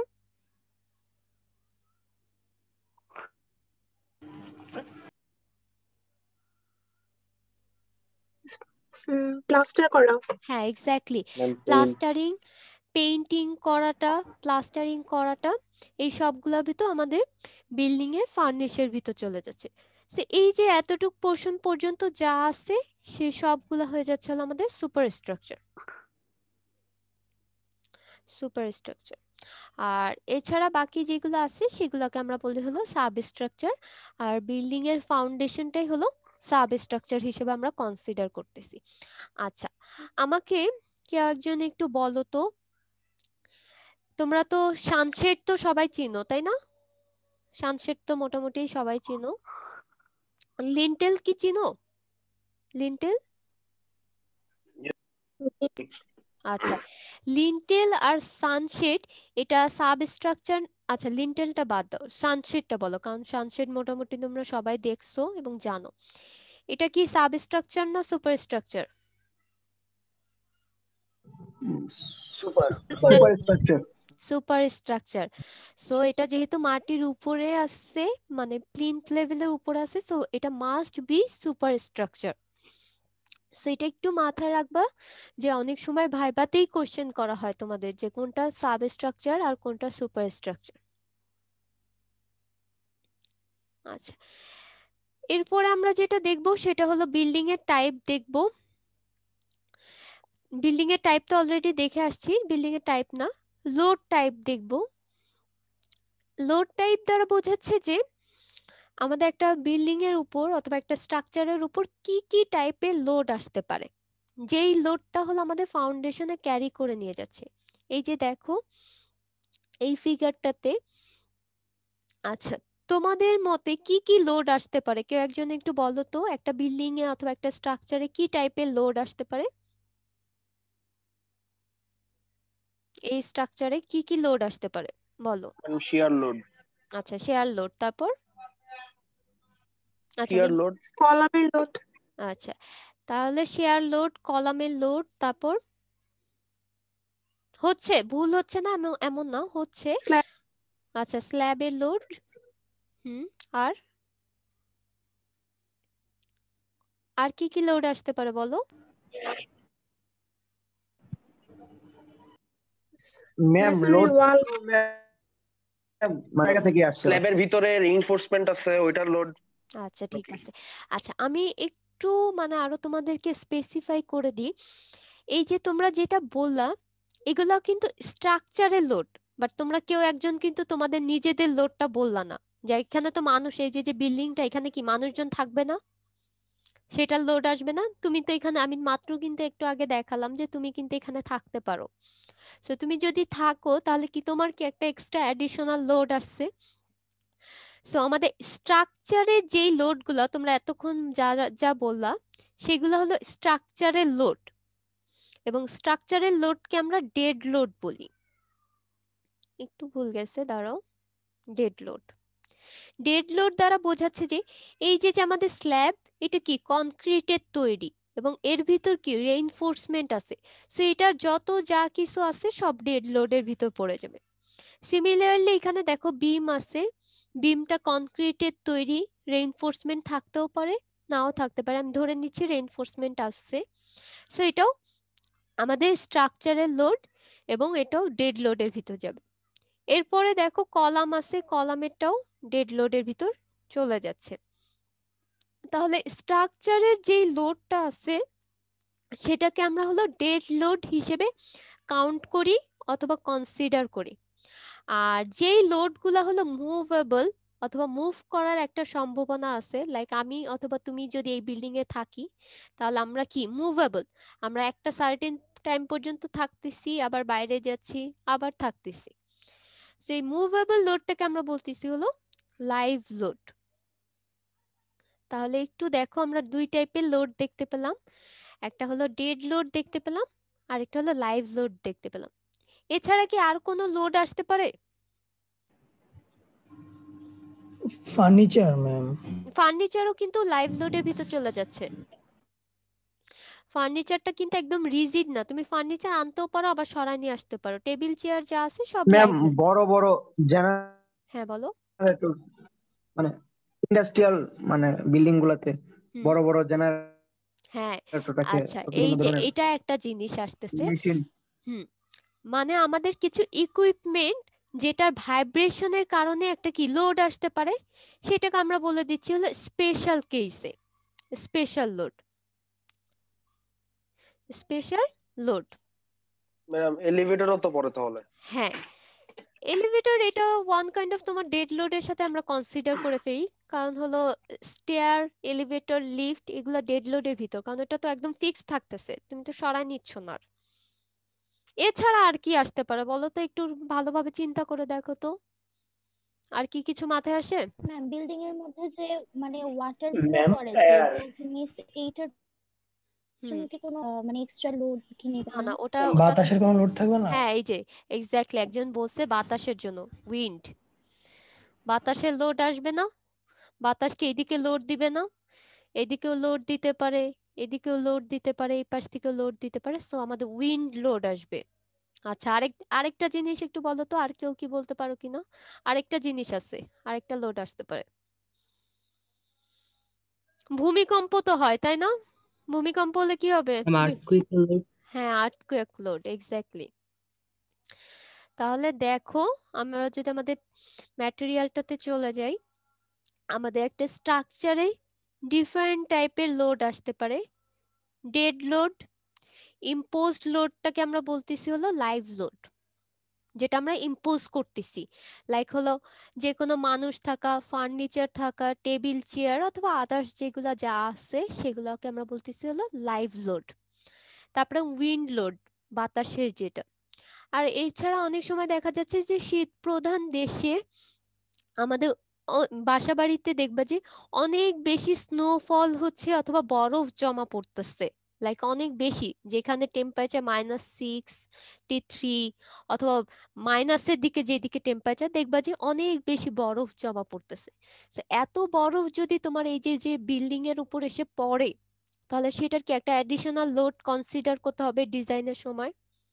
তাহলে আমরা একটা লোড কাউন্টে রাখতেছি, সেটা হলো স্নো লোড এরপরে যেটা আসতেছে সেটা হলো আর্থকোয়াক লোড আর্থকোয়াকটা হলো অনেক সময় দেখা যাচ্ছে গ্রাউন্ড মোশন শেকের কারণে আমাদের লোডটা ডিজিপিয়েট হয়ে বিল্ডিং এর ভিতর চলে আসতেছে। আমি যদি এই ফিগারটা দেখাই, এই যে এই যে, এরকম ভাবে চলে এইদিকে আসতেছে। এইদিকে এসে এই বিল্ডিংটাকে হিট করতেছে। সো এই লোডটাও কিন্তু আমাদের বিল্ডিং এ আসতে পারে।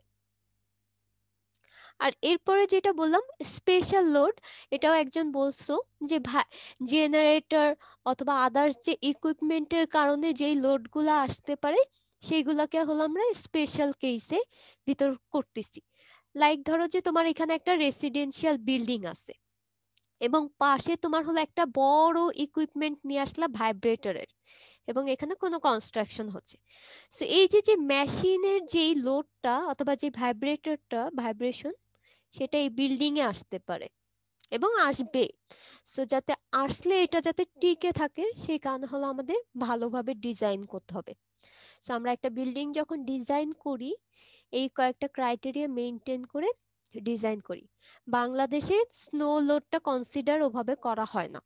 বাট যেখানে দেখা যাচ্ছে শীত প্রধান দেশ, সেখানে স্নো লোডটা একটা কনসিডার করা হয়। তাহলে আমরা ডিফারেন্ট টাইপের লোড কিন্তু দেখতে পেলাম। আর এখানে ইম্পোজ লোড দ্বারা বোঝাচ্ছে কিন্তু লাইভ লোড তোমরা তো এখন সেকেন্ড ইয়ারে আসো তোমরা থার্ড ইয়ারে আরসিসি যখন করবা, তখন ডিজাইন করবা। আরসিসি একটা সাবজেক্ট আছে ডিজাইন সো ডিজাইনে এখানে বলা হয় যে অনেক টাইপের লোড আসতেছে like dead load live load এই কারণে হলো আমরা ডিটেলস অফ কনস্ট্রাকশনে আগে জেনে আসি অথবা দেখে আসি যে লোড কয় টাইপের তাহলে যখন আরসিসি অথবা থার্ড ইয়ারে এই টার্মগুলো যখন আসবে, তখন আমরা ইউজ টু যাতে থাকি। আচ্ছা এই সেম স্লাইডটাই আবার মনে হয় রিপিট হইছে। আচ্ছা এতটুক পর্যন্ত কি কারও কোনো কোশ্চেন আছে একটু বলো তো? আমি কিন্তু খুব স্লো যাচ্ছি। আর তোমাদের একটু স্যার অলরেডি কিন্তু তোমাদের বলে দিছে যে ক্লাস পারফরমেন্স কিন্তু যে কোনো ক্লাসেই হতে পারে। সো এই কারণে আমি এ টু জেড ইলাবোরেটলি যাচ্ছি, যাতে তোমাদের বুঝতে ইজি হয় অথবা যদি আজকে ক্লাস পারফরমেন্সও হয়, তোমরা যাতে অ্যান্সার করতে পারো। আচ্ছা এরপরে দেখো যে আমাদের স্ট্রাকচারটা স্ট্রাকচার কম্বিনেশন হচ্ছে কি দিয়ে? অথবা একটা স্ট্রাকচারটা কি কি কম্বিনেশন হচ্ছে? সেখানে বিম থাকতেছে কলাম থাকতেছে স্ল্যাব থাকতেছে। এখন এই যে ধরো যে আমি যদি এই ফিগারটা দেখাই, এটা একটু মুছে দিই। বেসিক কম্পোনেন্ট দুইটা আর টোটাল অনেকগুলো কম্পোনেন্ট থাকতে পারে লাইক বিম কলম স্ল্যাব আচ্ছা এই যে দেখো, এটা কি? কলম আর এটা কি? বিম আর এখানে উপরে আমাদের রুফটা আছে। এই রুফটার সাথে বিমটা তুমি কীভাবে জয়েন্ট করবা? অথবা কীভাবে লাগাবা? আঠা দিয়ে তো তুমি লাগাতে পারবা না অথবা সুপার গ্লু দিয়েও লাগাতে পারবা না। সো আমরা এখানে যখন কনক্রিটিং করি কনক্রিট দিয়ে একসাথে আমরা কি? অ্যাটাচ করে দিচ্ছি অথবা রেখে দিচ্ছি এবং এটার সাথে কাস্টিং একসাথে করে ফেলে জয়েন্ট হয়ে যাচ্ছে। তাহলে দেখো এখানে একটা জয়েন্ট হচ্ছে, এখানে একটা জয়েন্ট হচ্ছে, এখানে একটা জয়েন্ট হচ্ছে। এই জয়েন্টটা রিজিড না ফ্লেক্সিবল সেটার উপরে আমরা স্ট্রাকচারটাকে ক্লাসিফাই করতে পারি। তাহলে দেখো, এখানে বলছে যে একটা ফ্রেম স্ট্রাকচার সো ফ্রেম স্ট্রাকচারে আমাদের কি হয়? আমাদের বিম থাকে কলাম থাকে স্ল্যাব থাকে এবং জয়েন্টটা হলো রিজিড জয়েন্ট হয়। আবার ফ্লেক্সিবল জয়েন্টও হতে পারে। এবং এটা কেন করা হয়? তো কখন আমরা ফ্রেম স্ট্রাকচার বলব? যখন এটা আমাদের ল্যাটারাল এবং গ্র্যাভিটি লোডটা রেজিস্ট করতে পারে। তাহলে এই ফিগারটা দেখো, এই দিক দিয়ে হলো আমাদের ল্যাটারাল লোড আসতেছে, আর এই দিক দিয়ে হলো আমাদের গ্র্যাভিটি লোডটা আসতেছে। তাহলে এই যে বিম কলাম স্ল্যাব যা আছে, সেটা যাতে ল্যাটারাল লোড আর গ্র্যাভিটি লোড যাতে রেজিস্ট করতে পারে, এই পুরা কম্পোনেন্টটাকে বলি হলো আমরা একটা ফ্রেম এবং এটা পুরাটা হলো একটা ফ্রেম স্ট্রাকচার সো ফ্রেম স্ট্রাকচারে আমাদের তিনটা কম্পোনেন্ট মাস্ট থাকবে। মাস্ট তিনটা থাকবে, এছাড়া আরও কম্পোনেন্টও থাকতে পারে। আর তিনটা বেসিক যে কম্পোনেন্ট থাকতেছে, সেটা হলো স্ল্যাব বিম কলাম এবং সেটা একটা রিজিড জয়েন্টের মাধ্যমে অ্যাটাচ থাকতেছে। জয়েন্টটা রিজিডও হতে পারে, আবার অনেক সময় কিছু দেখা যাচ্ছে যে নিচের দিকে ফ্লেক্সিবলও হতে পারে। বাট এদের মেইন পারপাসটা থাকতেছে লোড রেজিস্ট করা। এই যে দেখো এখানে লেখা আছে রোড রেজিস্ট করা। এইখানে আবার বলতেছে ফ্রেম স্ট্রাকচারে হলো আবার ডিফারেন্ট টাইপের ক্লাসিফিকেশন আছে অথবা ক্লাসিফাই করতেছে। আমি তোমাদেরকে ফার্স্টে বলছিলাম যে রিজিট হতে পারে, আবার ব্রেসিং হতে পারে। আচ্ছা ব্রেসিং জিনিসটা একটু পরে বলতেছি। আচ্ছা রিজিট জিনিসটা দেখো। রিজিট দ্বারা বোঝাচ্ছে আমাদের এই যে যে নিচে যে ফাউন্ডেশনটা আছে, এই যে যে জয়েন্টটা এটা যদি একদম শক্ত অথবা রিজিড আকারে থাকে, তার মানে রেজিস্ট করতে পারে। এই ল্যাটারাল লোডটা আসলে সে এইদিকে সরে যাবে না। এই যে দেখো, এরকম আসছে তুমি যদি এটাকে এদিকে ধাক্কা দাও, এটা এদিকে সরে যাবে না। সরে না যাওয়ার জন্য এখানে কি আমাদের বেঁধে রাখতে হবে অথবা কোনো কিছু সাপোর্ট দিতে হবে। তাহলে তুমি সাপোর্টটা এমন ভাবে দিবা, যাতে এটা রিজিড থাকে। রিজিড থাকে। তখন ওইটাকে বলা হলো রিজিড ফ্রেম স্ট্রাকচার এই যে রিজিড ফ্রেম স্ট্রাকচার এখন এই যে যে নিচের পোর্শনটা অনেক সময় সাপোর্ট তোমরা তো মেকানিক্সে করে আসছো, তাই না? সাপোর্ট কয় টাইপের একটু বলো তো? মেকানিক্সে করে আসার কথা। রিয়াকশন বের করে আসছো?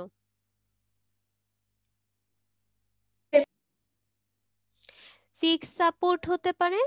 আরেকটা কি সাপোর্ট বলো তো? সাপোর্ট হ্যাঁ রোলার সাপোর্ট আর আর হচ্ছে রোলার সাপোর্ট তো এই যে যে লাস্টে যে জয়েন্টটা এটা যদি ফিক্সড হয় তখন আমরা ফিক্সড রিজিড ফ্রেম বলতেছি। আর যদি রোলার অথবা পিন হয় তাহলে এখানে দেখো পিন ইন্ডেড বলতেছি। তাহলে পুরাটাই কিন্তু ফ্রেম স্ট্রাকচার বাট আমার সাপোর্ট কন্ডিশনের উপর ডিপেন্ড করে আলাদা হয়ে যাচ্ছে। আর ব্রেস ফ্রেম স্ট্রাকচারটার ভিতর আবার দুইটা ক্লাসিফিকেশনে ক্লাসিফাই করে, একটা গ্যাবেল ফ্রেম আর একটা হলো পোর্টাল ফ্রেম। আমি একটু গ্যাবেল ফ্রেমের ফিগারটা দেখাই, এই যে এরকম। এই যে, এরকম টাইপের যে ফ্রেমগুলা থাকে, সেগুলাকে বলা হলো গ্যাবেল ফ্রেম টাইপের এবং লোডটা এরকম ভাবে আসে এবং এটার উপর এরকম ভাবে আসে। এটা ওয়ান স্টোরিও হতে পারে অথবা টু স্টোরিও হতে পারে। সে এই স্ট্রাকচার গুলাকে বলা হলো গ্যাবেল ফ্রেম তোমরা যখন থার্ড ইয়ারে থ্রি টুতে যাবা, তখন এই স্ট্রাকচারগুলা অ্যানালাইসিস দেখবা। সো আমি ইন ডিটেলস আর বলতেছি না। এখানে দেখো রিজিড স্ট্রাকচার এবং ফ্রেম স্ট্রাকচারের আরও অনেক কথাবার্তা লেখা আছে। রিজিড স্ট্রাকচারটা হলো মেইনলি আমাদের রেজিস্ট করবে। কি রেজিস্ট করবে? ডিফরমেশন তাহলে আমি একটু আগেই কিন্তু তোমাকে দেখাইছি, এই স্ট্রাকচারটা এখানে যাবে না। কেন যাবে না এটা? তাহলে ডিফরমেশন হয়ে যাবে। আর এই ডিফরমেশনটাই রেজিস্ট করবে হলো আমাদের সাপোর্ট কন্ডিশনটা হয় ফিক্সড হতে পারে অথবা পিন ইন্ডেড হতে পারে। আর ব্রেসিং এর ক্ষেত্রেও দেখো যে আমাদের কলাম থাকতেছে, ই থাকতেছে। এটা মেইনলি হলো ল্যাটারাল ফোর্সটা সে রেজিস্ট করতে পারে। রেজিস্ট্যান্স ল্যাটারাল ফোর্স তার মানে এটা শুধু ল্যাটারাল রেজিস্ট্যান্স ফোর্সটা রেজিস্ট করে। গ্যাবেল ফ্রেম আর পিন ইন্ডেড এর ক্ষেত্রেও আমি তোমাদেরকে বললাম যে আমাদের সাপোর্ট কন্ডিশনটা যদি পিন হয়, এই যে দেখো সাপোর্ট কন্ডিশন যদি পিন হয়, তখন এটাকে বলা হলো পিন ইন্ডেড ফ্রেম তার মানে হলো ফ্রেমে তোমার অবভিয়াসলি বিম কলাম থাকবে। আমি যদি ফিগারটা দেখাই, এই যে দেখো, এটা হলো একটা ফ্রেম স্ট্রাকচার এই যে যে নিচের যে পোর্শনটা এটা যদি ফিক্সড হয়, তখন ফিক্সড ইন্ডেড ফ্রেম বলব। এটা যদি পিন সাপোর্ট হয় অথবা রোলার সাপোর্ট হয়, তখন এটা পিন ইন্ডেড ফ্রেম বলব। তো সাপোর্ট কন্ডিশনের উপর ডিপেন্ড করে হলো তোমাদের হচ্ছে হলো ফ্রেম স্ট্রাকচার কি কি ক্লাসিফিকেশনে আর এখানে দেখো গ্যাবল স্ট্রাকচারে কি বলছে, একটা পিক পয়েন্ট থাকে টপে এই যে, একটা পিক পয়েন্ট থাকে এবং দুই সাইডে ইনক্লাইন থাকে, তারপরে হলো আবার কলাম শুরু হয়ে যায়। এই টাইপের স্ট্রাকচারকে আমরা গ্যাবল ফ্রেম বলি। তো এটা জাস্ট ক্লাসিফিকেশন অথবা টাইপগুলা দেখা যে কোনটা কি টাইপের এবং কোনটার ফিচারটা কীরকম।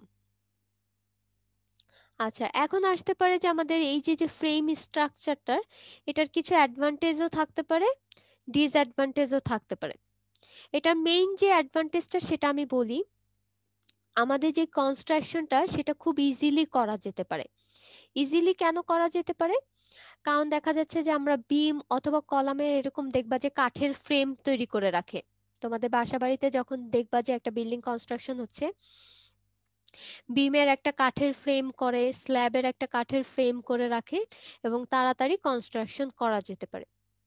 এবং এটা কিছুটা ইকোনমিক্যালও আর মেইন যে ডিসঅ্যাডভান্টেজটা আমাদের স্প্যান যদি ছোট হয়, তার মানে একটু দেখো ভালো মতো, এই যে এইটাকে বলা হয় হলো স্প্যান এগুলাকে এক একটা স্প্যান বলে। এই যে এগুলো একটা স্প্যান এই স্প্যানটা যদি ফর্টি ফিটের বেশি হয়ে যায়, তখন আমাদের ফ্রেম স্ট্রাকচারটা করা একটু টাফ হয়ে যায়। কেন টাফ হয় আমি সেটা একটু বলতেছি। কারণ দেখা যাচ্ছে যে তখন ডিফরমেশনটা এখানে একটা টার্ম ছিল, দেখবা। এই যে ডিফরমেশনটা অনেক বেশি চলে আসে। বাট ফ্রেম স্ট্রাকচারের মেইন টার্গেট অথবা পারপাসটাই হলো সে যাতে ডিফরমেশন রেজিস্ট করতে পারে। বাট স্প্যান যখন অনেক বেশি হয়ে যাবে, এটার উপর লোড আসবে এরকম ভাবে দেখবা যে ডিফর্ম হয়ে যাচ্ছে। এবং এটাকে বলা হলো ডিফরমেশন সো এই ডিফরমেশন যখন বেশি হয়ে যাচ্ছে, তখন আর আমি ফ্রেম স্ট্রাকচার আর কনস্ট্রাকশন করতে পারব না। সেই ছিল বেসিক অ্যাডভান্টেজ এবং ডিসঅ্যাডভান্টেজের কথাবার্তা। আর ফ্রেম স্ট্রাকচার ছাড়াও আরেক টাইপের স্ট্রাকচার আছে, সেটাকে বলা হচ্ছে হলো load bearing wall so load bearing ওয়ালটা কি? এই ফিগারটা দেখলেই বুঝতে পারবা।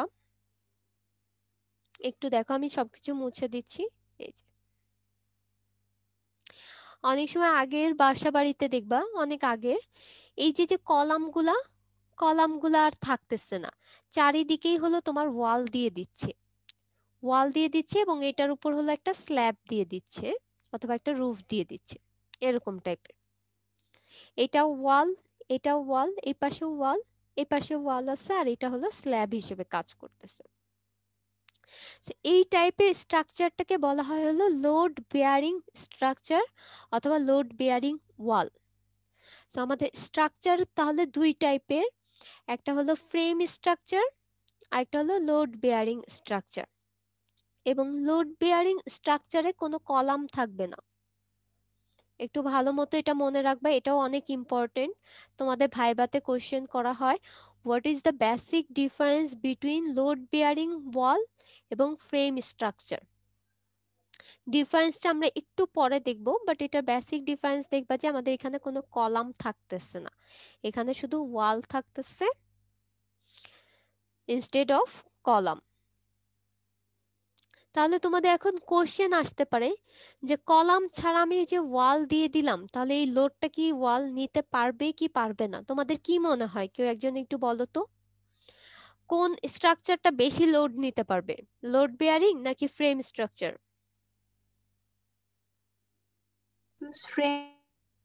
ফ্রেমটা বেশি নিতে। আচ্ছা ফ্রেমটা বেশি নিতে পারবে এবং লোড বেয়ারিং ওয়ালটা বেশি নিতে পারবে না। কেন পারবে না কেউ একজন বলো? এক্সপ্লেন করো তো কেন পারবে না? ফ্রেমে হুম ফ্রেমে কি হচ্ছে? একটু আবার বলো আমি বুঝতে পারিনি। মিস ফ্রেমে একটা সাপোর্ট থাকবে এই জন্য আচ্ছা। লোডটা বেশি নিতে পারবে। আর লোড বিয়ারিং ওয়ালে কোনো সাপোর্টিং এই জন্য আচ্ছা ঠিক আছে। একটু আমি একটু কারেকশন করে দিই। কিছুটা হইছে বাট এটা ইন ডিটেলস দেখতে পারবা হলো সামনে। আমি যদি এই ফিগারটা দেখাই। এই যে দেখো লোড ট্রান্সফার পথ অথবা ট্রান্সফার পাথ যেটা আছে, সেটা যদি তুমি বুঝতে পারো, তাহলে বোঝা যাবে যে কোনটার স্ট্যাবিলিটি বেশি এবং কোনটার স্ট্যাবিলিটি কম। এখানে দেখো আমরা দুই টাইপের স্ট্রাকচার দেখতেছি, একটা ফ্রেম স্ট্রাকচার একটা লোড বেয়ারিং স্ট্রাকচার ফার্স্টে আমরা হলো ফ্রেম স্ট্রাকচার দেখব। এবং ফ্রেম স্ট্রাকচার আমি তোমাদেরকে কি বলছিলাম? স্ল্যাব থাকবে বিম থাকবে কলাম থাকবে। এখন আমরা যেই টাইপের লোডগুলা দেখে আসছিলাম, এই যে ডেড লোড দেখলাম লাইভ লোড দেখলাম, আপাতত শুধু ডেড লোড আর লাইভ লোড নিয়ে কনসিডার করি। তারপরে বাকি যে লোডগুলো আছে সেগুলো তো আছে তাহলে এখানে আমি যদি লোডের কথা চিন্তা করি ফার্স্টে স্ল্যাবের লোডটা যাবে হলো বিমে স্ল্যাবে যে লোডটা ডাইরেক্ট বিমে যাবে বিম থেকে কলামে আসবে। এই যে এরকম ভাবে বিম থেকে কলামে আসবে, এটা লোডে এরকম কলামে আসবে। এই স্ল্যাবের লোডটা আসবে বিমে বিম থেকে ডাইরেক্ট কলামে যাবে, এখানে ডাইরেক্ট কলামে যাবে। এবং এই লোডের সাথে এই যে যে বিমের লোডটা এখানে তো আসবে, এবং এর আগের যে কলামের লোডটা সেখানেও অ্যাড হয়ে যাচ্ছে। তারপর সিমিলারলি এই স্ল্যাবের লোডটা বিমে আসবে দেন তারপরে কলামে যাবে এবং উপরের দুইটা কলামের লোড এটার সাথে অ্যাড হয়ে যাবে। তার মানে দেখো স্ল্যাব বিম কলাম তারপরে কলাম তারপরে কলাম তারপরে লাস্টে কি আছে? এই যে ফাউন্ডেশন তাহলে এই যে যে কলামের লোডটা সেটা ফাউন্ডেশনে চলে যাচ্ছে। এবং ফাউন্ডেশন তারপরে হলো সয়েলে দিয়ে দিচ্ছে। এই যে এই পোর্শন যেটা আছে সেখানে সয়েলে দিয়ে দিচ্ছে। তাহলে ফ্রেম স্ট্রাকচারে আমরা লোড ট্রান্সফরমেশনটা দেখতে পাচ্ছি। স্ল্যাব থেকে বিমে যাচ্ছে বিম থেকে কলামে যাচ্ছে। কলাম থেকে আরও যদি যতগুলা স্টোরি আছে, ততগুলা স্টোরির কলামে আসবে। এখানে দেখো কয়টা? একটা কলাম দুইটা কলাম তিনটা কলাম এই কারণে ওরা তিনবার লিখছে। এবং লাস্টে যে ফাউন্ডেশনে যাচ্ছে, তারপরে সয়েলে এবং এখানে দেখো, এই ফিগারটা দেখো, এখানে কোনো বিম নেই। আমি আবারও বলতেছি, অনেক স্ট্রাকচারে ফ্রেম স্ট্রাকচারে দেখা যাচ্ছে যে মেজর যে কম্পোনেন্টগুলা সেটা স্ল্যাব বিম কলাম। আবার অনেক সময় কলাম থাকতেও পারে, নাও থাকতে পারে। সরি ভুল বলছি একটু। বিম বিম থাকতেও পারে, নাও থাকতে পারে। সো বিম যদি না থাকে, সেগুলাকে আমরা বলি হলো ফ্ল্যাট প্লেট আর ফ্ল্যাট স্ল্যাব তাহলে দেখো, এই যে এখানে কি কোনো বিম দেখতে পাচ্ছ তোমরা? এখানে কিন্তু কোনো বিম নেই। ডাইরেক্ট হলো একটা স্ল্যাব আছে, এরপরে হলো কলাম বসানো আছে, আবার স্ল্যাব তারপরে কলাম। এই টাইপের স্ট্রাকচার গুলাকে বলা হয় হলো ফ্ল্যাট প্লেট এবং ফ্ল্যাট স্ল্যাব সেইখানে লোড ট্রান্সফরমেশনটা হয় হলো স্ল্যাব থেকে কলামে যায়, যে কয়টা কলাম আছে সেই কয়টা কলাম, তারপরে লাস্টে ফাউন্ডেশন তারপরে সয়েলে যায়। আচ্ছা এরপরে আরেকটা জিনিস আচ্ছা। সো তোমাদের এখানেও কিছু টাইপের ভাইবা টাইপের কোশ্চেন হয় যে বিম ছাড়া কি কোনো স্ট্রাকচার কনস্ট্রাকশন করা সম্ভব কি সম্ভব না? তোমাদের মতে কি হয় বলো তো? আমি কিন্তু মাত্র বলে আসলাম। হ্যাঁ ফ্ল্যাট প্লেট এবং ফ্ল্যাট স্ল্যাব সো কোশ্চেনে এরকম আসতে পারে যে বিম ছাড়া যে স্ট্রাকচারগুলো আমরা করি সেগুলোকে কি বলা হয়? ফ্ল্যাট প্লেট আর ফ্ল্যাট স্ল্যাব এখানে ফ্ল্যাট প্লেটের ফিগারটা আছে, এই যে দেখো ফ্ল্যাট প্লেটের এবং তোমরা একটু নেটে সার্চ দিয়ে দেখো যে ফ্ল্যাট প্লেট এবং ফ্ল্যাট স্ল্যাবের ফিগারটা কীরকম, তাহলে বুঝতে পারবা। আমি লিখে দিচ্ছি ফ্ল্যাট প্লেট এখানে লেখা আছে, লেখার দরকার নেই তাহলে এক্সট্রা ভাবে। এটা একটু নেটে সার্চ দিলে দেখবা যে কোনো বিম নেই। কিন্তু এটা কিন্তু একটা ফ্রেম স্ট্রাকচার এবং লোড ট্রান্সফরমেশনটা বিম ব্যতীত যা যা আমাদের কম্পোনেন্ট আছে, সেখান দিয়ে হলো লোড ট্রান্সফারটা হচ্ছে। এখন আমি চলে আসি, এটার ক্ষেত্রেও সেম স্পেশাল কেসে সেকেন্ডারি বিম যদি থাকে, তাহলে যতগুলা বিম আছে, আগে বিমের থেকে কলামে যাবে কলাম থেকে দেন তারপরে ফাউন্ডেশন এই যে এখন দেখো, এখানে আবার আরও কিছু ডিপ বিম টাইপের আছে, ওটা আমি ইন ডিটেলস আর বলতেছি না, আমি এখন লোড বেয়ারিং ওয়ালেরটা আসব। লোড বেয়ারিং ওয়ালে কি বলছিলাম? কোনো কলাম থাকবে না। তাহলে কলাম যদি না থাকে, তাহলে কি হবে? স্ল্যাব থেকে বিমে আসবে বিম থেকে ওয়ালে যাবে যেই কয়টা স্টোরি সেই কয়টা ওয়াল থেকে ট্রান্সফার হতে থাকবে লাস্টে যে ফাউন্ডেশনে যাবে, এবং এরপরে সয়েলে যে ট্রান্সফার হয়ে যাবে। তাহলে দেখো, আমরা হলো দুইটা টাইপের স্ট্রাকচারের লোড ট্রান্সফরমেশনটা দেখলাম যে কীভাবে হয়। এটা তোমরা ফার্স্টের সেমিস্টারে অথবা এর আগের সেম- আগের না, সামনের সেমিস্টারগুলোতে দেখবা। যে যখন ডিজাইন করবা তখন এটা লাগবে। যে কীভাবে লোড ট্রান্সফরমেশনটা হচ্ছে। নাহলে দেখা যাচ্ছে ডিজাইনটা করতে পারতেছো না। আচ্ছা এখানে আমি এটাও বলছি। এই ফিগারটা দেখলে হয়তো একটু বুঝতে পারবা। এই যে দেখো, এই ফিগারটাতে দেখো কি হচ্ছে? এইটা ধরে নাও যে আমাদের রুফ অথবা স্ল্যাব এই লোডটা এখানে আসতেছে। এটুকু বাদ দাও, এটুকু বাদ দাও, এটা পরে আসো। আচ্ছা এই লোডটা এই যে এখানে চলে আসতেছে। নিচের দিক দিয়ে কলাম দিয়ে নামতেছে। এটা হলো স্ল্যাবের এই যে যে ভার্টিক্যাল যেটা দেখতে পাচ্ছো, সেটা হলো স্ল্যাবের লোড স্ল্যাবের লোডটা বিমে আসতেছে। এই যে বিমের দিকে চলে যাচ্ছে। দেন তারপরে হলো আবার কলামে আসতেছে। কলামে এসে নিচের স্টোরিতে চলে যাচ্ছে। এবং এই লোডটা, এই লোডের সাথে কিন্তু অ্যাড হয়ে যাবে। ধরো এটা যদি ফিফটি হয়, এটার সাথে যেই লোডটা আসতেছে ফিফটি অ্যাড হয়ে যাবে। এবং লাস্টে দেখো এই যে, এটা হলো আস্তে আস্তে ফাউন্ডেশনে সে ডিজিপিয়েট করে দিচ্ছে এরকম ভাবে এই যে। ডিজিপিয়েশন হয়ে যাচ্ছে। এটা হলো আমাদের সয়েলে ফাউন্ডেশনের লোড। সো লোডটা মেনলি হলো এভাবেই ট্রান্সফার হয়। আচ্ছা এখন আমি তোমাদেরকে যেটা বলতে চাচ্ছিলাম যে বেসিক ডিফারেন্সটা দেখা যাচ্ছে লোড বেয়ারিং ওয়ালের থেকে হলো আমাদের ফ্রেম স্ট্রাকচারটা স্ট্যাবিলিটিটা অথবা ডিউরেবিলিটিটা বেশি। কারণ কলামের ভিতর আমরা আরসিসি দিই। আরসিসি। তার মানে হলো রেইনফোর্স সিমেন্ট কনক্রিট থাকে। সো এটার স্ট্যাবিলিটিটা অনেক এই কারণে বেড়ে যাচ্ছে ওয়ালের থেকে। আর ওয়াল তো নর্মালি ব্রিকের হতে পারে অথবা স্টোনের হতে পারে, যে কোনো কিছুর হতে পারে। সো কনক্রিটের থেকে ব্রিকের যে স্ট্রেনটা সেটা অনেক বেশি।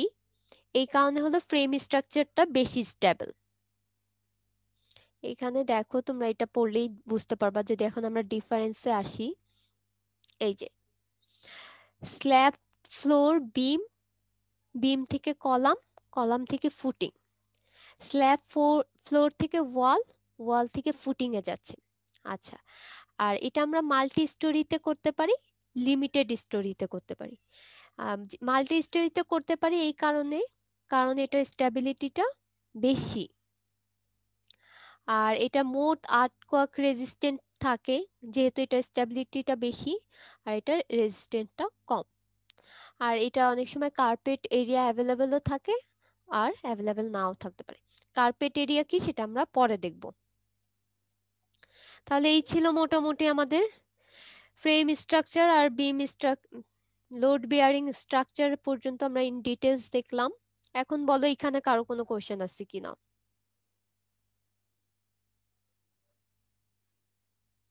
এটা কিন্তু অনেক ইম্পর্টেন্ট এই যে যা পড়ালাম।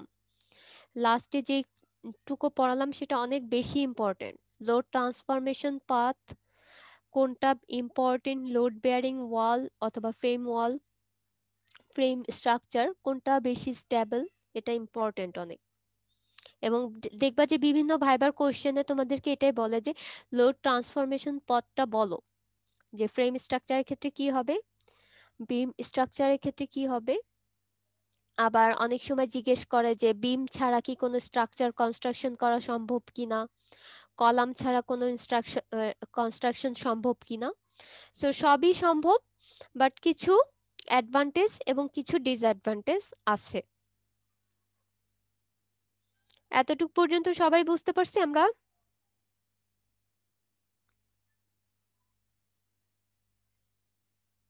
জি, মিস। আচ্ছা তোমাদের তাহলে আমি একটু পাঁচ মিনিটের ব্রেক দিচ্ছি দেন তারপর আরও কিছু টপিকস একটু বাদ আছে, সেটা আমরা শুরু করব।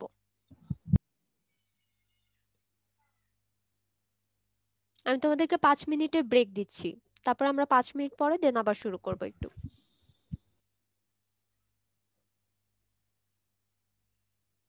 আচ্ছা আমাদের যে কোনো মেম্বারই ধরে নাও যে একটা বিম এটা হলো একটা পয়েন্ট এটা আরেকটা পয়েন্ট দুইটা পয়েন্টের মাঝখান পর্যন্ত যে ডিস্টেন্স সেটাকে বলা হলো স্প্যান স্প্যান সিমিলারলি দেখো, এই যে একটা বিমের এখানে একটা পয়েন্ট এটা আরেকটা পয়েন্ট এটাকে বলা হচ্ছে স্প্যান সো আমরা বিমটা প্রোভাইড করি কোথায়? দেখো, মাঝখান বরাবর, নাহলে তো ফুল একটা স্ল্যাব হলো আমরা পুরাটা দিয়ে দিতে পারি। এই যে একটা স্ল্যাব এই যে দেখো এই যে যে স্ল্যাবের মাঝখানে হলো আমি একটা বিম দিয়ে দিচ্ছি। কেন বিম দিচ্ছি? কারণ তোমার কোডে বলে দেওয়া আছে, আঠারো ফিটের বেশি যদি একটা স্ল্যাবের স্প্যান হয়ে যায়, যখন এটার উপর লোড আসবে, লোড আসলে এরকম ভাবে বেঁকে যাবে। এরকম ভাবে দেখবা যে একটু কিছুটা বেঁকে যাচ্ছে। এই বেঁকে যাওয়াটাকে বলা হয় হলো ডিফরমেশন। একটা টার্ম হলো বলছি ডিফরমেশন আচ্ছা। সো এরকম পরপর অ্যাটলিস্ট মিনিমাম একটা সার্টেন স্পেস পরপর হলো আমরা বিম প্রোভাইড করি, যাতে স্ল্যাবে কোনো ডিফরমেশন না আসে, অথবা স্ল্যাব বেশি ডিফর্ম হয়ে না যায়। এখন ফ্রেম স্ট্রাকচারে দেখা যাচ্ছে যে, আমাদের এই যে যে স্প্যানটা আছে এই স্প্যানটা যদি চল্লিশ ফিট একটা ক্রাইটেরিয়া বলে দিচ্ছে আমি তো এটা আঠারো ফিট বলছি, পরপর দিতে হয় বাট এটা যদি চল্লিশ ফিট হয়ে যায় স্প্যানটা তখন ডিফরমেশনটা অনেক বেশি হয়ে যায়। সো আমরা এত বেশি ডিফরমেশন অ্যালাউ করব না একটা স্ট্রাকচারে তুমি অবভিয়াসলি এমন কোনো বিল্ডিং এ থাকতে চাবা না যে এখানে ছাদটা দেখা যাচ্ছে যে ঝুলে পড়ে আছে, তোমার মাথার একটু উপরে ঝুলে পড়ে আছে। সেখানে তুমি থাকতেও রিস্কি ফিল করবে। সো দেখা যাচ্ছে যে ফর্টি ফিটের বেশি যদি হয়, তখন ডিফরমেশন বেড়ে যাচ্ছে। বাট ইন্ডাস্ট্রিয়াল বিল্ডিং অথবা বিভিন্ন টাইপের ডরমেটরি বলো ডরমেটরি বলব না লাইক কনভেনশন যে সেন্টারগুলা, সেগুলা স্প্যানগুলা কি অনেক বড় বড় না? তো তুমি বারবার কি এতগুলা কি বিম কি প্লেস করতে পারবা? সো সেই ক্ষেত্রে দেখা যাচ্ছে যে আমাদের ফ্রেম স্ট্রাকচার করাটা একটু টাফ হয়ে যাচ্ছে। এটাই হলো মেইনলি ডিসঅ্যাডভান্টেজ সেই ক্ষেত্রে তখন আমরা করতে পারি যে গ্যাবেল ফ্রেম করতে পারি, এই যে গ্যাবেল ফ্রেম স্ট্রাকচার করতে পারি, অথবা অন্য কোনো টাইপের স্ট্রাকচার করতে পারি। বাট ফ্রেম স্ট্রাকচার আর আমরা ওইখানে করি না। এটাই বলছে যে তোমার মেইন ডিসঅ্যাডভান্টেজটা এই যে, আর এখানে নর্মাল রেইনফোর্সমেন্ট কনক্রিটে আদারওয়াইজ দেখা যাচ্ছে যে ল্যাটারাল ডিফরমেশনটা অনেক বেশি হয়ে যাচ্ছে গ্রেটার দেন যে ডিফরমেশনটা হচ্ছে সেটা ল্যাটারাল ডিফরমেশনটা খুব বেশি হয়ে যাচ্ছে। এই কারণে আমরা মিনিমাম ছোট স্প্যানের ক্ষেত্রে দেখা যাচ্ছে যে ফ্রেম স্ট্রাকচার করতে পারি। এখন বুঝতে পারছ? ইয়েস ম্যাম তার মানে ইন্ডাস্ট্রিয়াল বিল্ডিংগুলো সব মানে ফ্রেম স্ট্রাকচার হয় না। না ইন্ডাস্ট্রিয়াল বিল্ডিং এ তুমি যদি যাও ভিতরে দেখবা যে আরও অন্যান্য জিনিস দিয়ে তৈরি। ওটা স্টিলের হতে পারে এবং মানে ওদের স্ট্রাকচারের মানে ফরমেশনটা ফ্রেমিংটাই আলাদা।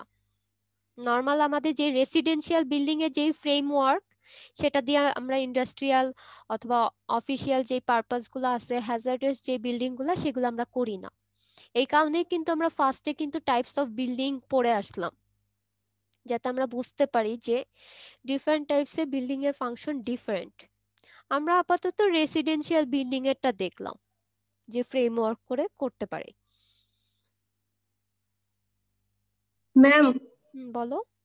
পোর্টার ফ্রেম আচ্ছা। পোর্টাল ফ্রেম আচ্ছা পোর্টাল ফ্রেমটা হলো আমি তোমাদেরকে একটু বলি এটা কিছুটা এই যে এরকম শেপের হয়। এই যে এরকম শেপে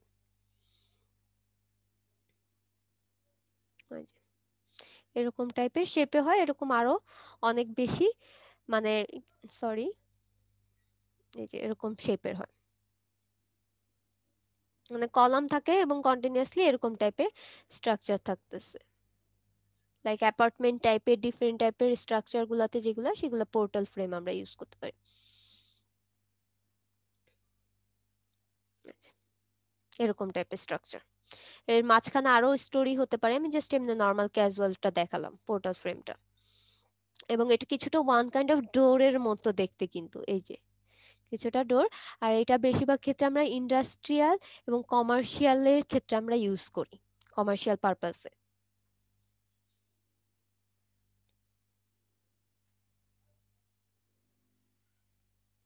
জি মিস থ্যাংক আচ্ছা। আচ্ছা তোমাদের আর কারও কি কোনো কোয়েশ্চেন আছে? ম্যাম ফ্রেম স্ট্রাকচার কি লোড না? হ্যাঁ হ্যাঁ বলো বুঝতে পারিনি। ফ্রেম ওয়াল কি লোড না? ফ্রেম স্ট্রাকচার ফ্রেম স্ট্রাকচারে আমরা ওয়াল কি লোড হিসেবে গণ্য করব না? আচ্ছা ফ্রেম স্ট্রাকচারে তোমাদের যে ওয়ালটা আছে, এখানে কিন্তু ওয়ালটার লোডটা কিন্তু তোমার বিমে চলে যাচ্ছে কলামে চলে যাচ্ছে। ফ্রেম স্ট্রাকচারে দেখো, এই যে যে মেইন কম্পোনেন্ট আমি এই ফিগারটাই কিন্তু তোমাদেরকে দেখালাম, এই যে। এখানে তো ওয়ালটা আছে বাট বিমের লোডটা কি? তোমার ডাইরেক্ট কিন্তু কলামে আসতেছে। মানে এখানে লোড ট্রান্সফরমেশনে এখানে আর ওয়ালের লোডটা ওরা কনসিডার করে না করে ডাইরেক্ট হলো। স্ল্যাব থেকে বিম বিম থেকে কলামে যাচ্ছে দেন তারপর ট্রান্সফার হচ্ছে। আর নর্মালি দেখবা যে ব্রিকে দুই তালা অথবা একতলার কিছু কিছু একদম অনেক আগের বিল্ডিংগুলা যেগুলো আছে, সেগুলাকে বলা হয় হলো লোড বেয়ারিং ওয়াল। সেই ক্ষেত্রে দেখা যাচ্ছে যে তোমার আর ওইখানে কলামে আর লোড ট্রান্সফার হচ্ছে না। সেখানে কলামের পরিবর্তে আমাদের ওয়ালের হিসেবে, মিডিয়া হিসেবে কাজ করতেছে লোড ট্রান্সফরমেশনে। দেন তারপর হলো ডাইরেক্ট ফাউন্ডেশনে চলে যাচ্ছে। সো বেসিক যে ডিফারেন্সটা ফ্রেম স্ট্রাকচার আর লোড বেয়ারিং স্ট্রাকচারে একটা জায়গায় কলামে লোড ট্রান্সফার হচ্ছে, আর একটা জায়গা হলো ওয়ালে লোড ট্রান্সফর্ম হচ্ছে। ওয়ালে লোড ট্রান্সফরমেশন হচ্ছে। এই কারণে ওই টাইপের স্ট্রাকচারকে আমরা বলতেছি লোড বেয়ারিং স্ট্রাকচার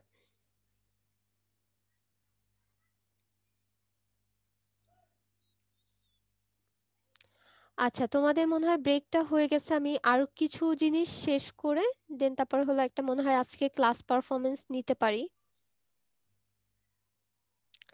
আচ্ছা এরপরে যেটা আসতেছে সেটা একটু দেখো। আমরা কিছু টার্ম শিখব। অ্যাটেন্ডেন্সটা নিয়ে নিবো? জি স্যার অ্যাটেন্ডেন্সটা নিয়ে নেব ম্যাম জি স্যার জি স্যার একটু ব্রেক আচ্ছা আমরা এতক্ষণ পর্যন্ত কিন্তু বিল্ডিং এর কম্পোনেন্টগুলা দেখে আসছি। এটা কিন্তু তোমাদের একদম ফার্স্টেই বলে আসছি বিল্ডিং এর কম্পোনেন্টগুলো। এখানে দুইটা টার্ম একটু নিউ আছে, আর বাকি মোটামুটি দেখো তোমরা ফাউন্ডেশন সেটা কি? মোটামুটি জানলা।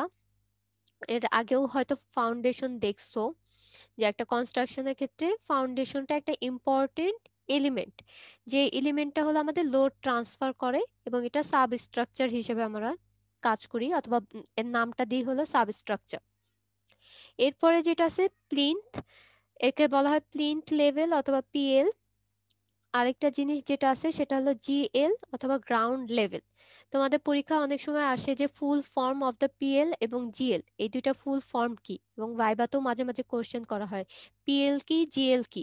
সেটা সব সময় মাথায় রাখবা। ইভেন ফোর্থ ইয়ারে যেও কিন্তু সেম কোশ্চেনটাই করা হয়।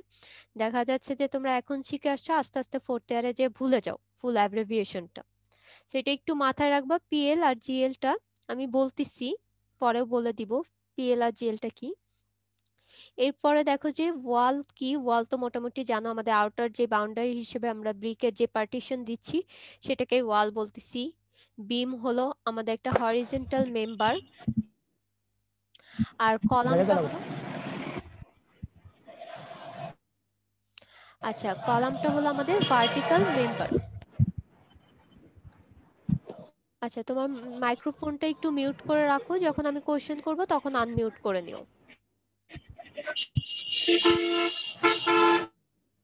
আচ্ছা কলামও মোটামুটি দেখছি সেটা হলো আমাদের কলামটা হলো ভার্টিক্যাল মেম্বার একটু ভালো মতো দেখো এই স্ট্রাকচারটা দেখলেই বুঝতে পারবা। আচ্ছা প্লিন্থ লেভেল আর জিএলটা কিন্তু আমি পরে বলতেছি, দেখো।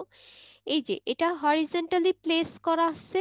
এই সেম মেম্বারটাকে যদি তুমি নাইনটি ডিগ্রি অ্যাঙ্গেলে রোটেট করায় নিয়ে আসো তাহলে কিন্তু সেটাকে আমরা কলাম নাম দিচ্ছি।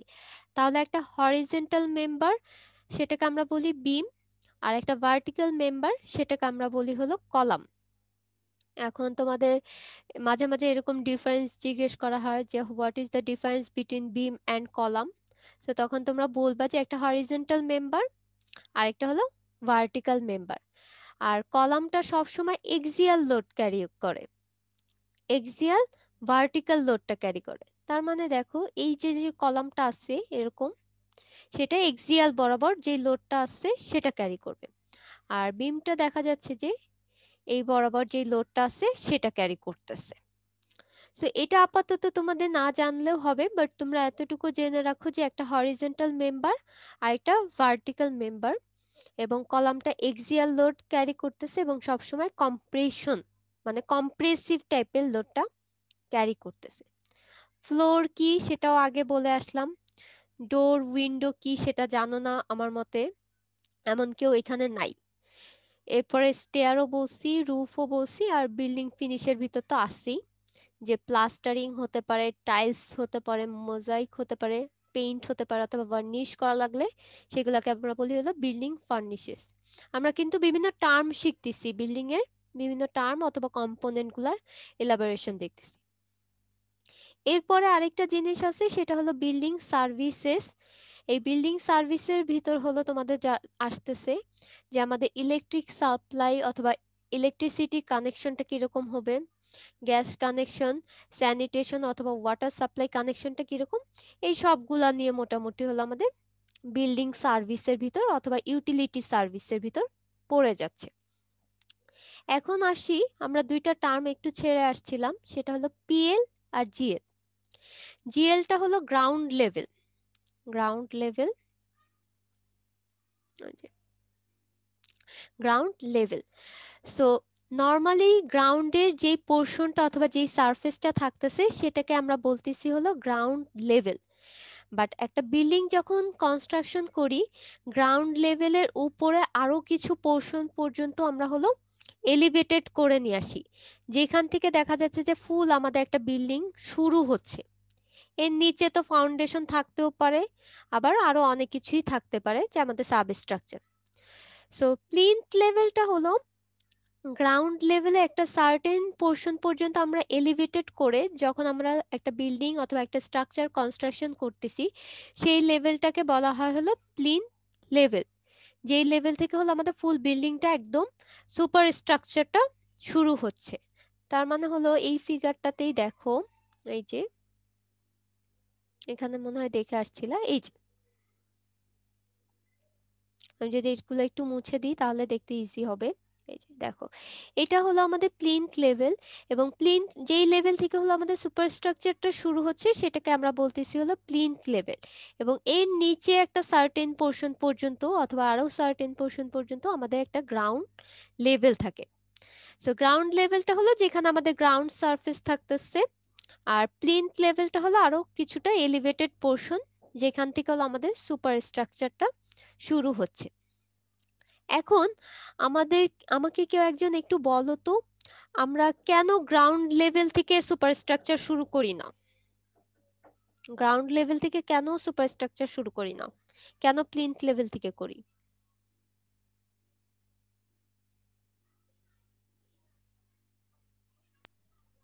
বেশি স্টেবল থাকবে। আচ্ছা হ্যাঁ অনেক সময় দেখা যাচ্ছে যে তোমার আজকে এই যে ধরো যে একটা রাস্তা, এটা একটা রাস্তা, আজকে এই পোর্শন পর্যন্ত এই লেভেলে আছে রাস্তাটা। বাট অনেক সময় রাস্তার লেভেলটা আস্তে আস্তে কি এলিভেটেড করা হয়। দেখা যাচ্ছে যে বন্যা হচ্ছে অথবা ড্রেনেজ হওয়ার একটা সম্ভাবনা আছে, এই কারণে হলো আমি রাস্তার লেভেলটা আরেকটু উপর করে দিই। তো এরকম আস্তে আস্তে যদি রাস্তার লেভেল উপর হতে থাকে, দেখা যাচ্ছে যে বিল্ডিং এ একটা সার্টেন পোর্শন সুপার স্ট্রাকচার মাটির নিচে চলে যেতে পারে। সো এই কারণে আমরা একটা সার্টেন এলিভেটেড পোর্শন রাখি, যেই পোর্শন থেকে আমাদের বিল্ডিংটা শুরু হচ্ছে এবং সুপার স্ট্রাকচারটা শুরু হচ্ছে। এই কারণে দেখো, এই যে রেইন ওয়াটার অথবা আরও অনেক সময় যাতে আমাদের ড্রেনেজ হওয়ার সম্ভাবনা থাকে, এগুলার যাতে ফ্যাসিলিটিস থেকে স্ট্রাকচারটাকে সেফ রাখার জন্য হলো আমরা প্লিন্থ লেভেল থেকে শুরু করি। সো দুইটা নিউ টার্ম শিখলা তোমরা প্লিন্থ লেভেল আর জিএল এরপরে কিছু টেকনিক্যাল টার্ম সেই টেকনিক্যাল টার্মে আমি সব ইন ডিটেলস বলব না জাস্ট সামারি করে যাব। তোমরা একবার রিডিং দিলেই বুঝতে পারবা যে কোনটা কি।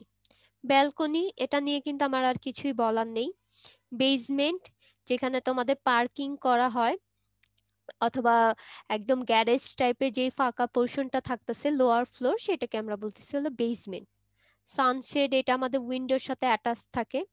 আর কোর্টিয়ার্ড এটা কি? কেউ একজন বলো তো? কোর্টিয়ার্ড কি? কারও আইডিয়া আছে অথবা কেউ জানো? এটা কি? আচ্ছা। থাকবে। আচ্ছা। ম্যাম এটা কি উঠান বলে? হ্যাঁ উঠান এক্স্যাক্টলি দেখবা যে তোমাদের বাসা বাড়ির সামনে একদম ফাঁকা। বা অনেক সময় গ্রামের বাড়িতে এটা আরও বেশি ভাবে অ্যাভেলেবেল ছিল। ঢাকার কিছু বাসাতেও দেখবা ফ্ল্যাট বিল্ডিংগুলা বাদে। দেখবা যে আমাদের যে বাউন্ডারি এরিয়া সেইখানে তো বিল্ডিংগুলা অথবা রুমগুলা আছে বাট এর সামনে কিছুটা উঠান অথবা ফাঁকা জায়গা আছে সেটাকে বলা হলো কোর্ট ইয়ার্ড এই ফিগারটা দেখলে একটু বুঝতে পারবা। এই যে দেখো। এই যে ফাঁকা যে সামনের পোর্শনটুকু আসছে অথবা ওপেন স্পেস সেটাকে আমরা বলতেছি কোর্টইয়ার্ড আর সানশেডটা কি? যেটা আমাদের ওপেনিং এর সাথে অ্যাটাচ থাকে এবং এটা একটা ক্যান্টিলিভার পোর্শন আর এই যে ব্যালকনি বারান্দাকে আমরা ব্যালকনি বলি, আর বেসমেন্টটা তো একদম লোয়ার ফ্লোর এরপরে আরেকটা জিনিস আছে, সেটা হলো ডিপিসি এটারও ফুল ফর্ম এবং অ্যাব্রিভিয়েশনটা জেনে নিবা। ডিপিসির অ্যাব্রিভিয়েশনটা কি সবাই জানো? ডিপিসি মানে কি কেউ কি জানো?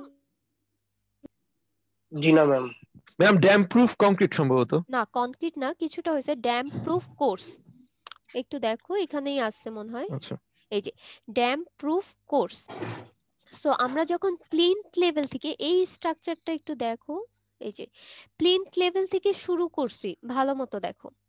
এইটা হলো প্লিন্থ লেভেল এবং সাদা যে পোর্শনটা দেখতে পাচ্ছো আমার কার্সরের সাথে দেখো আমার একটু মানে সোজা হয়নি। এইখানে হলো আমরা একটা লেয়ার প্রোভাইড করি। যাতে হলো এই যে যে সয়েলে যে ওয়াটারটা সেটা যাতে ভিতরে না আসে, তার মানে হলো ওয়াটার প্রুফ হিসেবে কাজ করে। নাহলে আদারওয়াইজ ওয়াটার যদি ভিতরে চলে আসে স্ট্রাকচারের তখন দেখা যাচ্ছে যে আমাদের করোশন হতে পারে।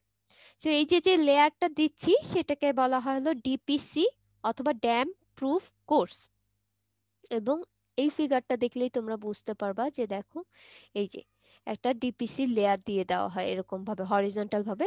তারপরে হলো আমরা ওয়ালটা শুরু করে দিচ্ছি এবং একটা শীট ফরমেশনে থাকে ডিপিসি এরপরে দেখো কি আছে? প্যারাপেট প্যারাপেটটা হলো আমরা ছাদে প্রোভাইড করি অথবা রুফে প্রোভাইড করি।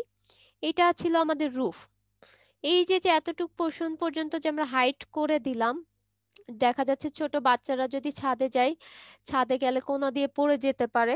একটু কিছুটা সেফটি মেনটেন করার জন্য হলো আমরা রুফের সার্টেন পোর্শন পর্যন্ত দেখা যাচ্ছে যে তিন ফিট অথবা আড়াই ফিটের মতো আমরা ওয়ালের গাঁথনি দিয়ে দিই। সেটাকে বলা হচ্ছে হলো প্যারাপেট আর আরেকটা টার্ম যেটা, সেটা হলো পোর্চ অনেক সময় দেখবা যে বিভিন্ন ব্যাংলো টাইপের অথবা অনেক বড় বাসাগুলাতে দেখা যাচ্ছে যে আমাদের যে বাসাটা, সেখানে গ্যারেজের জন্য একটা সার্টেন পোর্শন পর্যন্ত জায়গা রাখা হচ্ছে, যেখানে এসে গাড়িটা আমরা এখানে পার্ক করে নামতেছি। এই যে যে যেই পোর্শনটা আছে, সেটাকে আমরা পোর্চ বলতে পারি। সো আমরা কি বিভিন্ন টাইপের টেকনোলজিক্যাল টার্ম শিখলাম যে বিল্ডিং এ কি কি টার্ম ইউজ হয়। আচ্ছা আরেকটা জিনিস যেটা জানার ছিল, সেটা হলো রুম হাইট রুম হাইটটা দ্বারা বোঝাচ্ছে যে একটা ফ্লোর থেকে আরেকটা ফ্লোর পর্যন্ত আমাদের যে হাইটটা সেটাকে বলা হয় হলো রুম হাইট ইন জেনারেল ক্লেসে আমাদের প্রতিটা স্টোরি হাইট কত ফিট হয়? কেউ কি জানো? অথবা আইডিয়া করে বলো তো। ম্যাম। ফিট কত? টোয়েন্টি দশ টেন ফিট টোয়েন্টি না 10, হ্যাঁ হ্যাঁ এক্স্যাক্টলি টেন টু আমরা ইলেভেন ফিট পর্যন্ত আমাদের যে ক্লিয়ার হাইটটা আছে রুমের হাইট সেটা আমরা মেনটেন করি। তার মানে এখান থেকে যে এতটুকু পোর্শন পর্যন্ত টেন টু ইলেভেন ফিট আমরা এটা মেনটেন করি এবং এটাকে বলা হয় হলো রুম হাইট আচ্ছা তাহলে দেখো এই যে স্টোরি হাইটও বলে দিলাম কার্নিশ আচ্ছা কার্নিশ জিনিসটা একটু ইম্পর্টেন্ট সেটা হলো এখানে মনে হয় কোনো ফিগারে দেওয়া নেই। আচ্ছা এই যে দেওয়া আছে। এটা হলো মেইনলি আমাদের স্ল্যাব ছিল। এই যে এতটুকু পোর্শন পর্যন্ত আমাদের স্ল্যাব বাট এই স্ল্যাবটা কিছুটা কি? প্রজেক্টেড অথবা এক্সটেন্ডেড আকারে আসছে তার মানে তুমি যদি দেখো, আমাদের এটা ছিল হলো মেইনলি স্ল্যাব এবং উপর থেকে দেখলে এই যে এরকম ভাবে দেখতে পাবা। আমি যদি ডট ডট দিয়ে দেখাই, এরকম। এই যে, এটা হলো মেইনলি স্ল্যাব ছিল যেটা এই যে এখান থেকে এতটুকু পোর্শন পর্যন্ত। আর এই যে যে এক্সটেন্ডেড পোর্শনটা সেটা হলো এই যে এটা। তাহলে এই যে যে স্ল্যাবের দুই সাইডে অথবা ফুল সাইডে যে আমরা এক্সটেন্ডেড প্রজেক্টেড আকারে যে পোর্শনটা রাখতেছি, সেটাকে বলা হয় হলো কার্নিশ। তাহলে এখানে দেখো, তোমাদের কার্নিশে মনে হয় কোনো ফিগার দেওয়া নাই বাট এখানে দেখো কিছু স্লাইটলি আমরা প্রজেক্টেড পোর্শন রাখতে পারি। অনেক সময় দেখা যাচ্ছে বৃষ্টি টিষ্টি হচ্ছে, পানি যাতে একদম ভিতরে না আসে, একটু বাইরে যাতে পড়ে, সেই কারণে হয়তোবা আমরা কার্নিশটা প্রোভাইড করি। আর এছাড়া তেমন কিছু বলার নেই। এখন যেটা আছে সেটা একটা ইম্পর্টেন্ট টপিক এবং মেইনলি হলো এটা অনেক বেশি ইম্পর্টেন্ট ফার রেশিও অথবা ফ্লোর এরিয়া রেশিও ফার এটা অনেক বেশি ইম্পর্টেন্ট একটু ভালো মতো বোঝার ট্রাই করবা। আচ্ছা এটা বলার আগে এখন পর্যন্ত যা বললাম, সেটা সম্পর্কে অথবা সেটা নিয়ে কি কারও কোনো কোয়েশ্চেন আছে কিনা বলো। এগুলার টার্মগুলা শুধু একবার রিডিং পড়বা। রিডিং পড়লেই বুঝতে পারবা যে কোনটা কি জিনিস। আমি জাস্ট সামারি করে তোমাদের বলে গেলাম। আর যেটা ইম্পর্টেন্ট ছিল, সেগুলো আমি ইন ডিটেলসেই তোমাদেরকে বলছি।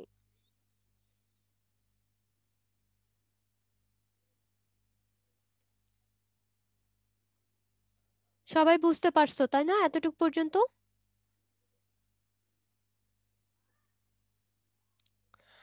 আচ্ছা ফার রেশিওর জন্য আমি তোমাদের হলো একটা স্লাইড অথবা পাওয়ার পয়েন্ট ওপেন করে দেখাই তাহলে হয়তো তোমরা বুঝতে ইজি হবে।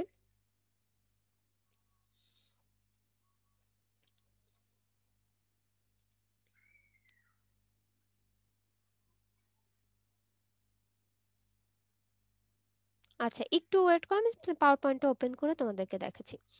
আচ্ছা তোমরা স্লাইড তো দেখতে পাচ্ছ তাই না?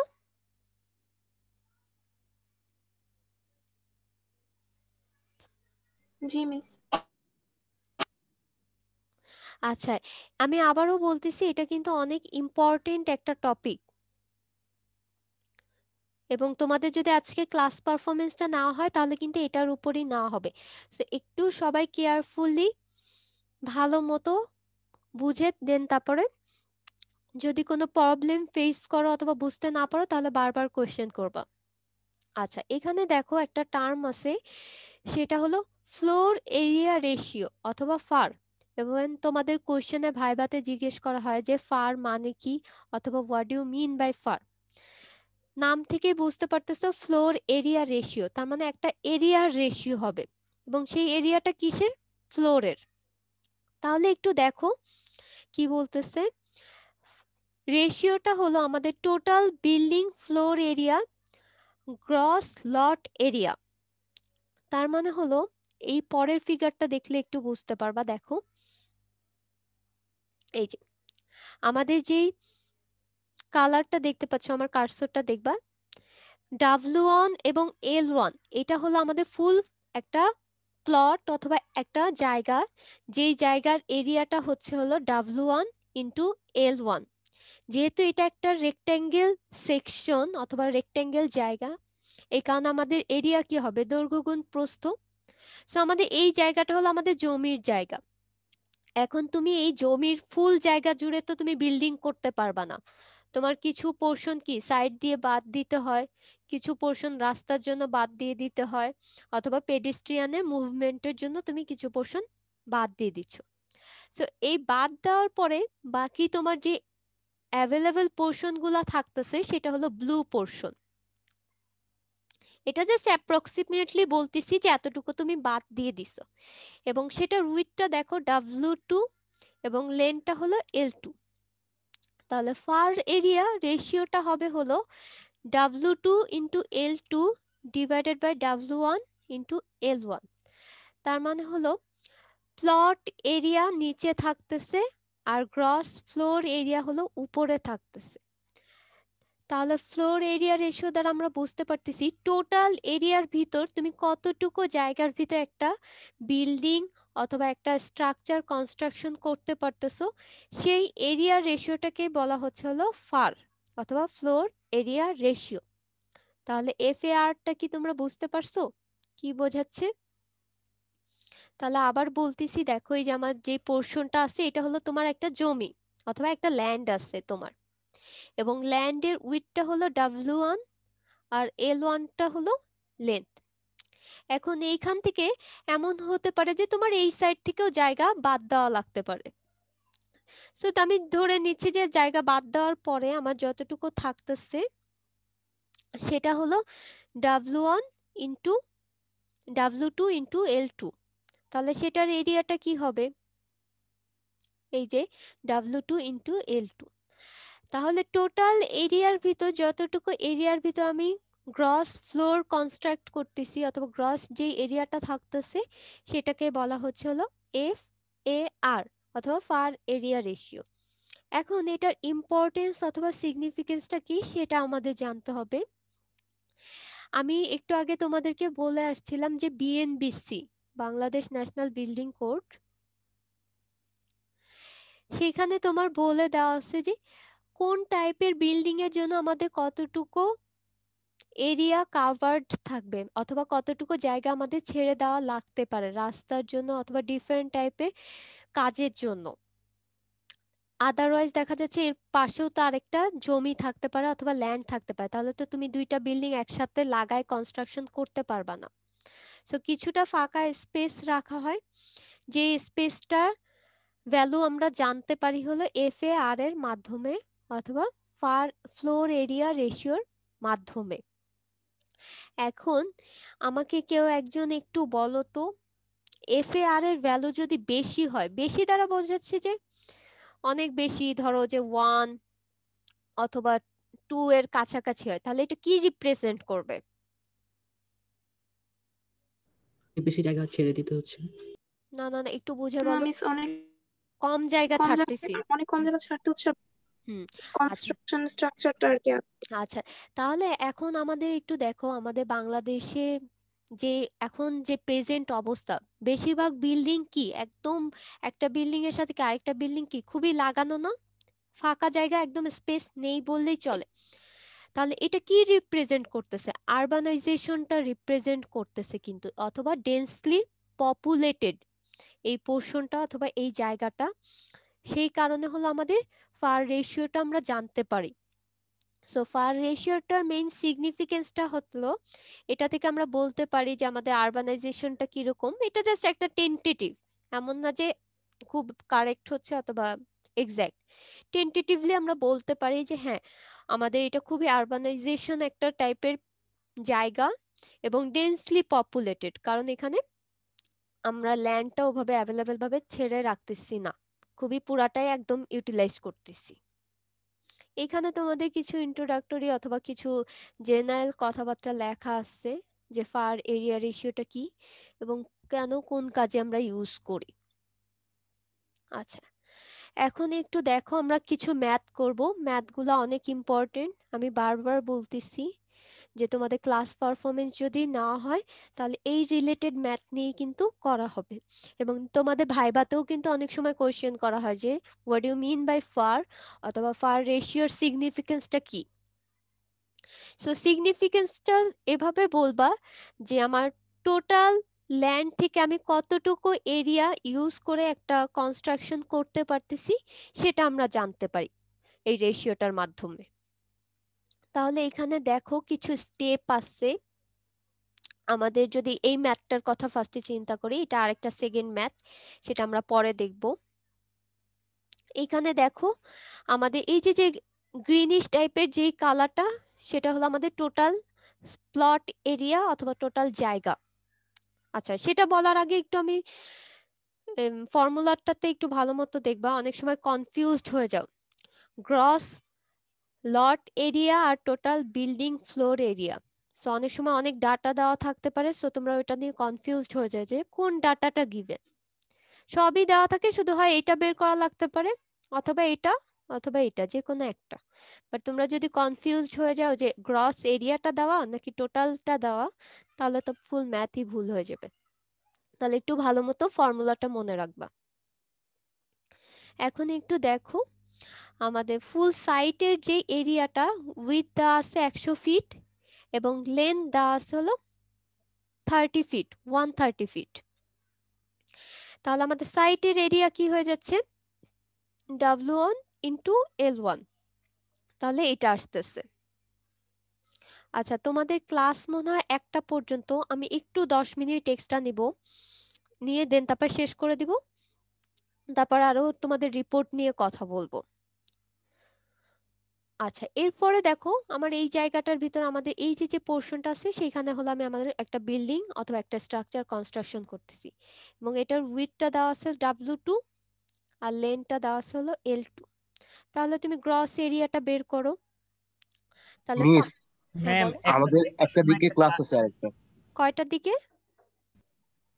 একটা একটা একটা থেকে থেকে একটা থেকে থেকে ম্যাম, ক্লাস এখনই ক্লাস আছে ম্যাডাম ফ্লুইড ফ্লুইড ক্লাস আচ্ছা ঠিক আছে আমি আর মিনিটের মতো নিয়ে আচ্ছা একটু আমি শেষ করে দিচ্ছি বেশিক্ষণ লাগবে না তাহলে। ক্লাস না? ম্যাম সরি স্যার ওগুলা শিফট হয়ে গেছিল।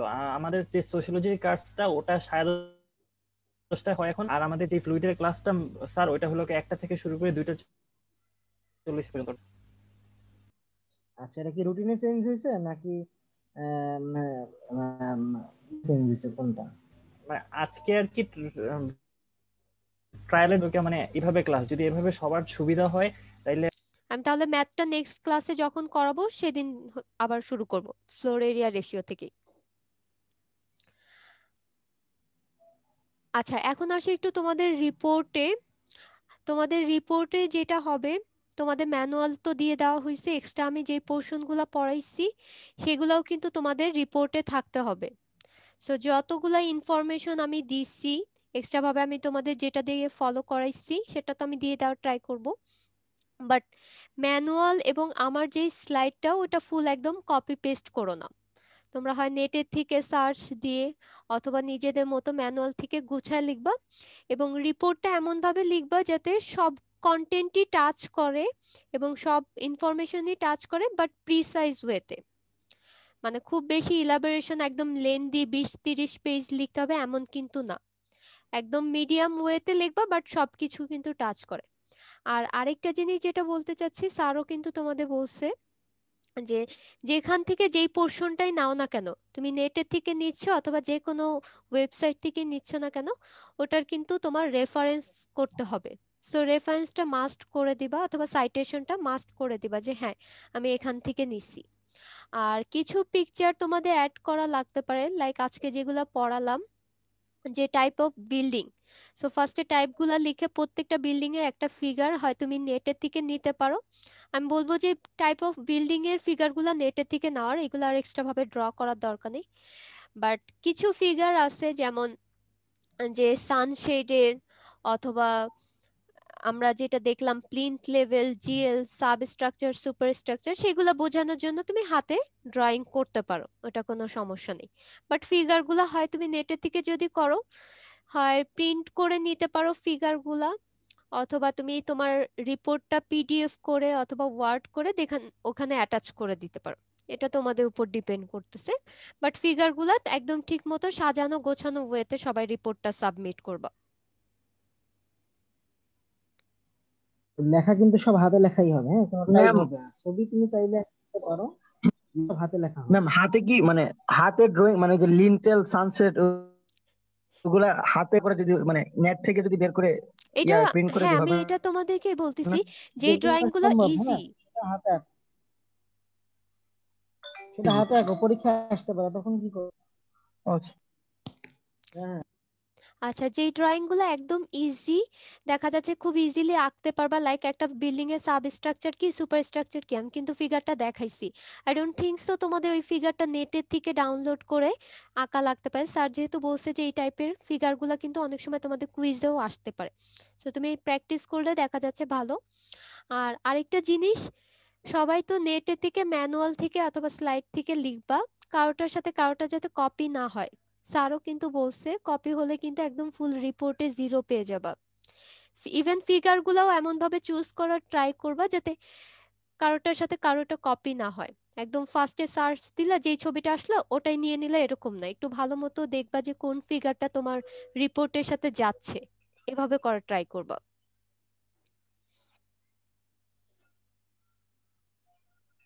ম্যাম কি লিখব আছে এটা সেটা লিখে আমাদের ক্লাসরুমে যখন পোর্টালটা দিবেন আমাকে।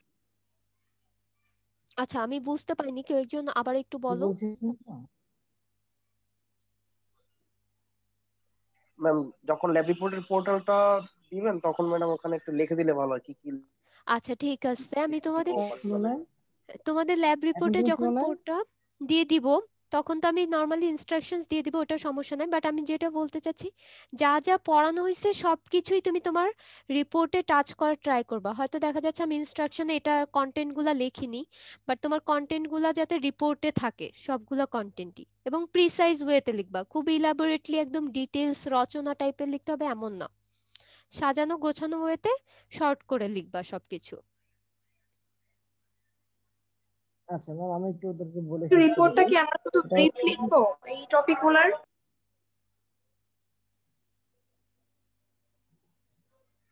আচ্ছা আমি তোমাদের শেষ করে দিচ্ছি একবার ভালো করে শোনো। শেষে যে এই যে ইনস্ট্রাকশনস লেখা পোর্টালে ল্যাব রিপোর্টের যে পোর্ট সেখানে আমরা হয়তো সবকিছু দিতে পারব না হ্যাঁ?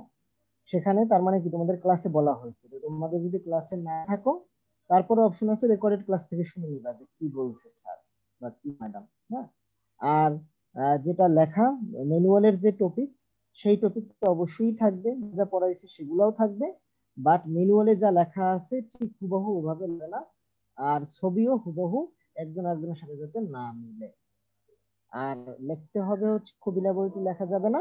প্রিসাইজ ওয়েতে মানে হচ্ছে মোটামুটি সবকিছু এরকম ভাবে লিখবা। আবার একদম ছোটও যাতে না হয়, একদম বড়ও যাতে না হয়। ওকে এখন কার কোনো কোশ্চেন থাকলে বলো না হলে আমি ক্লাস করে দিচ্ছি। যাদের কোনো কোশ্চেন নেই তারা ফিগার কি আমাকে প্রিন্ট আউট করে রাখতে হবে যাতে আমার ওই ফিগার তুমি হচ্ছে ওয়া করতে পারো।